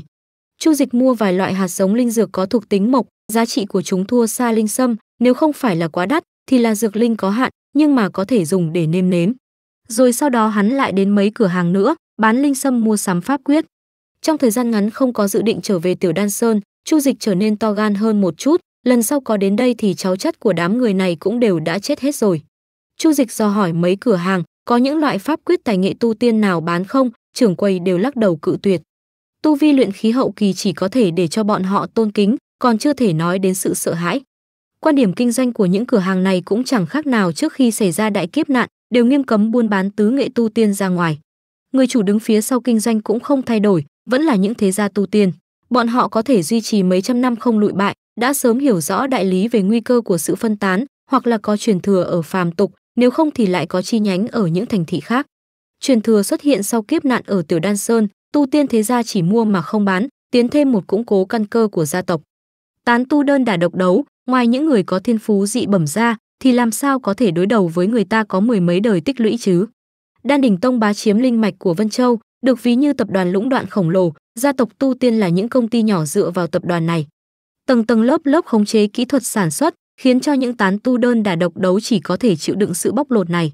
Sự tốt đẹp của tu tiên giới chỉ là cái nhìn tương đối của bá tánh phàm tục mà thôi, dù sao thì tu sĩ cũng không thiếu vàng bạc ăn uống, tuổi thọ rất dễ vượt ngưỡng 100 tuổi. Cũng tương tự như vậy, giai cấp trong tu tiên giới còn khắc nghiệt hơn gấp trăm lần ngàn lần so với phàm tục. Thứ công bằng duy nhất lại chính là linh căn, là thứ không công bằng nhất. Chu Dịch tìm đọc rất nhiều điển tịch, chưa bao giờ nghe nói có phương pháp làm gia tăng xác suất có linh căn của đời con cháu. Có lẽ tu sĩ cấp cao có thể làm được, nhưng cái giá phải trả thì không phải là thứ mà gia tộc tu tiên có thể chi trả nổi. Cho nên gia tộc tu tiên ở phàm tục, cưới vợ sinh con khắp nơi để bảo đảm rằng con cháu của họ có linh căn thiên phú. Như là bát đại thế gia Giang Nam thuộc Đại Càn, có thế gia nào mà không có hơn 10 vạn tộc nhân chứ? Đồng thời, bát đại thế gia còn kết minh liên hôn với nhau, cho dù vận may kém đến cực điểm, hai ba đời con cháu cũng không sinh ra tộc nhân có linh căn, thì dựa vào sự giúp sức của đồng minh cũng có thể vượt qua nguy cơ. Sự thay đổi hoàng triều trên thế gian cứ tính theo mốc 3 500 năm một lần, tông môn tu tiên giới cứ hở ra là thống trị đến mấy ngàn năm. Chu Dịch suy nghĩ nghiền ngẫm hiểu ra đạo lý trong này, thì đã không đến hỏi những cửa hàng khác nữa, sẽ không có gì khác nhau, bắt đầu đi dạo cửa hàng trên phố. Những linh vật mà tán tu bán, ngoài những mặt hàng giả lừa người ra, còn lại thì không thể nào bì được với hàng cùng loại trong các cửa hàng. Xem ra kiếp nạn ở Tiểu Đan Sơn, thật ra đã làm xuất hiện không ít thứ tốt, chất lượng còn tốt hơn rất nhiều so với trước kia. Chu Dịch không xem linh vật, chỉ hỏi thăm ngọc bội pháp thuật, rất nhanh đã mua được một phần truyền thừa vừa lòng. Bút ký gieo trồng linh dược, giá 50 khối linh thạch. Toàn văn hơn mấy vạn chữ, ghi chép kỹ càng tỉ mỉ điển quan trọng của việc gieo trồng mười mấy loại linh dược và đúc kết tổng hợp một số kinh nghiệm thông dụng. Tác giả có tên là Từ Xuyên tu sĩ, Chu Dịch rất có ấn tượng với người này, trong viện có trồng không ít linh dược, đã từng đặt bàn ở Phượng Minh lâu, muốn dùng linh thạch để thỉnh giáo Từ Xuyên, kết quả là người ta còn chẳng đến như ước hẹn. Chuyện giao dịch song tu ở Phượng Minh lâu bị rất nhiều tu sĩ khinh thường, cho rằng cầu tiên vấn đạo thì nên thanh tịnh, kiên nghị. Cho nên, tích góp nhiều linh thạch như vậy, bỗng nhiên hồn phi phách tán sao? Chu Dịch thật sự không cho rằng Từ Xuyên sai, nhưng lại kiên trì với lập trường của mình, đang cân nhắc xem liệu rằng vực Thiên Dương có phải là chi nhánh của Phượng Minh lâu không.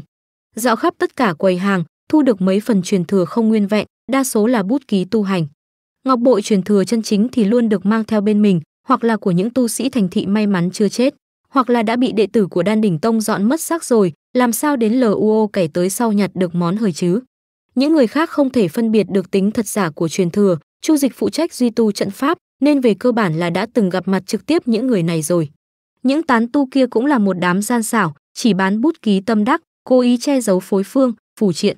Chu Dịch hiểu ra rằng đây mới là biện pháp thông minh, bán bút ký tâm đắc đổi lấy linh thạch để bắt đầu mua sắm tài nguyên tu hành dựa theo phối phương, sau này sẽ có được một nghề có thể liên tục kiếm được linh thạch. Năm đó Hồ đạo nhân dựa vào việc bán linh tử, cơ bản là chưa từng thiếu thốn linh thạch, sau này lại may mắn phát hiện ra linh địa, sáng tạo nên gia tộc tu tiên. Nếu có thể truyền thừa liên tục qua mười mấy đời, Hồ gia cũng có thể được gọi là thế gia. Bút ký cũng không tệ, sau này có được truyền thừa của phối phương là có thể nhanh chóng nhập môn, tránh gặp khó khăn như trận đạo. Chu Dịch dạo quanh tất cả các quầy hàng hàng, lại mua thêm mấy bình đan dược khôi phục pháp lực, rồi dắt bò rời khỏi Tiểu Đan Sơn, đêm lui ngày tới, trời lặng trăng lên. Một đường về phía nam vượt hơn vạn dặm đường, vì Chu Dịch không vội vàng lên đường, đi rồi lại dừng quan sát cảnh vật ven đường. Ước chừng sau hơn một năm mới chạy đến Lâm Uyên Thành nằm ở phía đông nam của Sở Quốc. Thành trì này cách vực Thiên Dương chưa đến trăm dặm, bởi vậy mà được gọi là nhân sinh lữ đồ, phong cảnh ven đường là hút người nhất. Chu Dịch đi ra từ Di Hồng viện, cưỡi lên con bò một đường đi về hướng nam.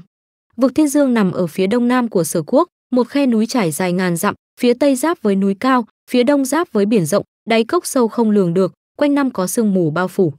Huyền nhai tuyệt bích, sâu không thấy đáy. Thường xuyên có bá tánh nhìn thấy cầu vồng bay ra, cho rằng đây là chỗ mà thần tiên ở. Trên giang hồ có không ít những cao nhân võ đạo to gan, treo dọc theo vách đá xuống dưới, rồi sau đó không bao giờ còn trở về nữa, dần ra nơi này đã thành một tuyệt địa chí mạng. Đây cũng đúng là điểm đến của Chu Dịch, thành Thiên Dương dưới trướng của Đan đỉnh tông. Thành Thiên Dương được thành lập hơn 2000 năm, là linh mạch bị Đan đỉnh tông bá chiếm sớm nhất, đều là linh mạch hoàng phẩm, nhưng nội tình lại hơn xa Tiểu Đan Sơn. Lý do tại sao Chu Dịch lựa chọn nơi này thì rất đơn giản, tu sĩ đóng giữ ở đây là trúc cơ chân nhân, ngàn năm chưa hề thay đổi. Trong mắt của những người khác, Thành Thiên Dương bình thường không có gì nổi bật, cũng không sản xuất ra linh vật đặc thù, cũng không mạch khoáng, nhưng mà, trong mắt hắn, thanh bình và an ổn chính là ưu thế lớn nhất. Bên ngoài quanh quẩn quan sát mấy tháng, điều khiển Sơn Hà đỉnh bay xuống dưới đáy của vực sâu, ước chừng phải bay xuống mấy trăm trượng mới chạm phải sương mù. Pháp lực vận chuyển, mây mù tự động rẽ lối để lộ ra một lối đi. Chu Dịch bay xuyên qua trùng trùng điệp điệp mây mù, tầm nhìn ở phía dưới rộng mở thông thoáng, nơi xa loáng thoáng có thành trì, còn những khu vực khác là linh điền kéo dài vô biên. Đi đăng ký tên tuổi trước đã. Nếu các bạn thấy hay, hãy cho ad một like, đăng ký kênh để nhận những video mới nhất nha.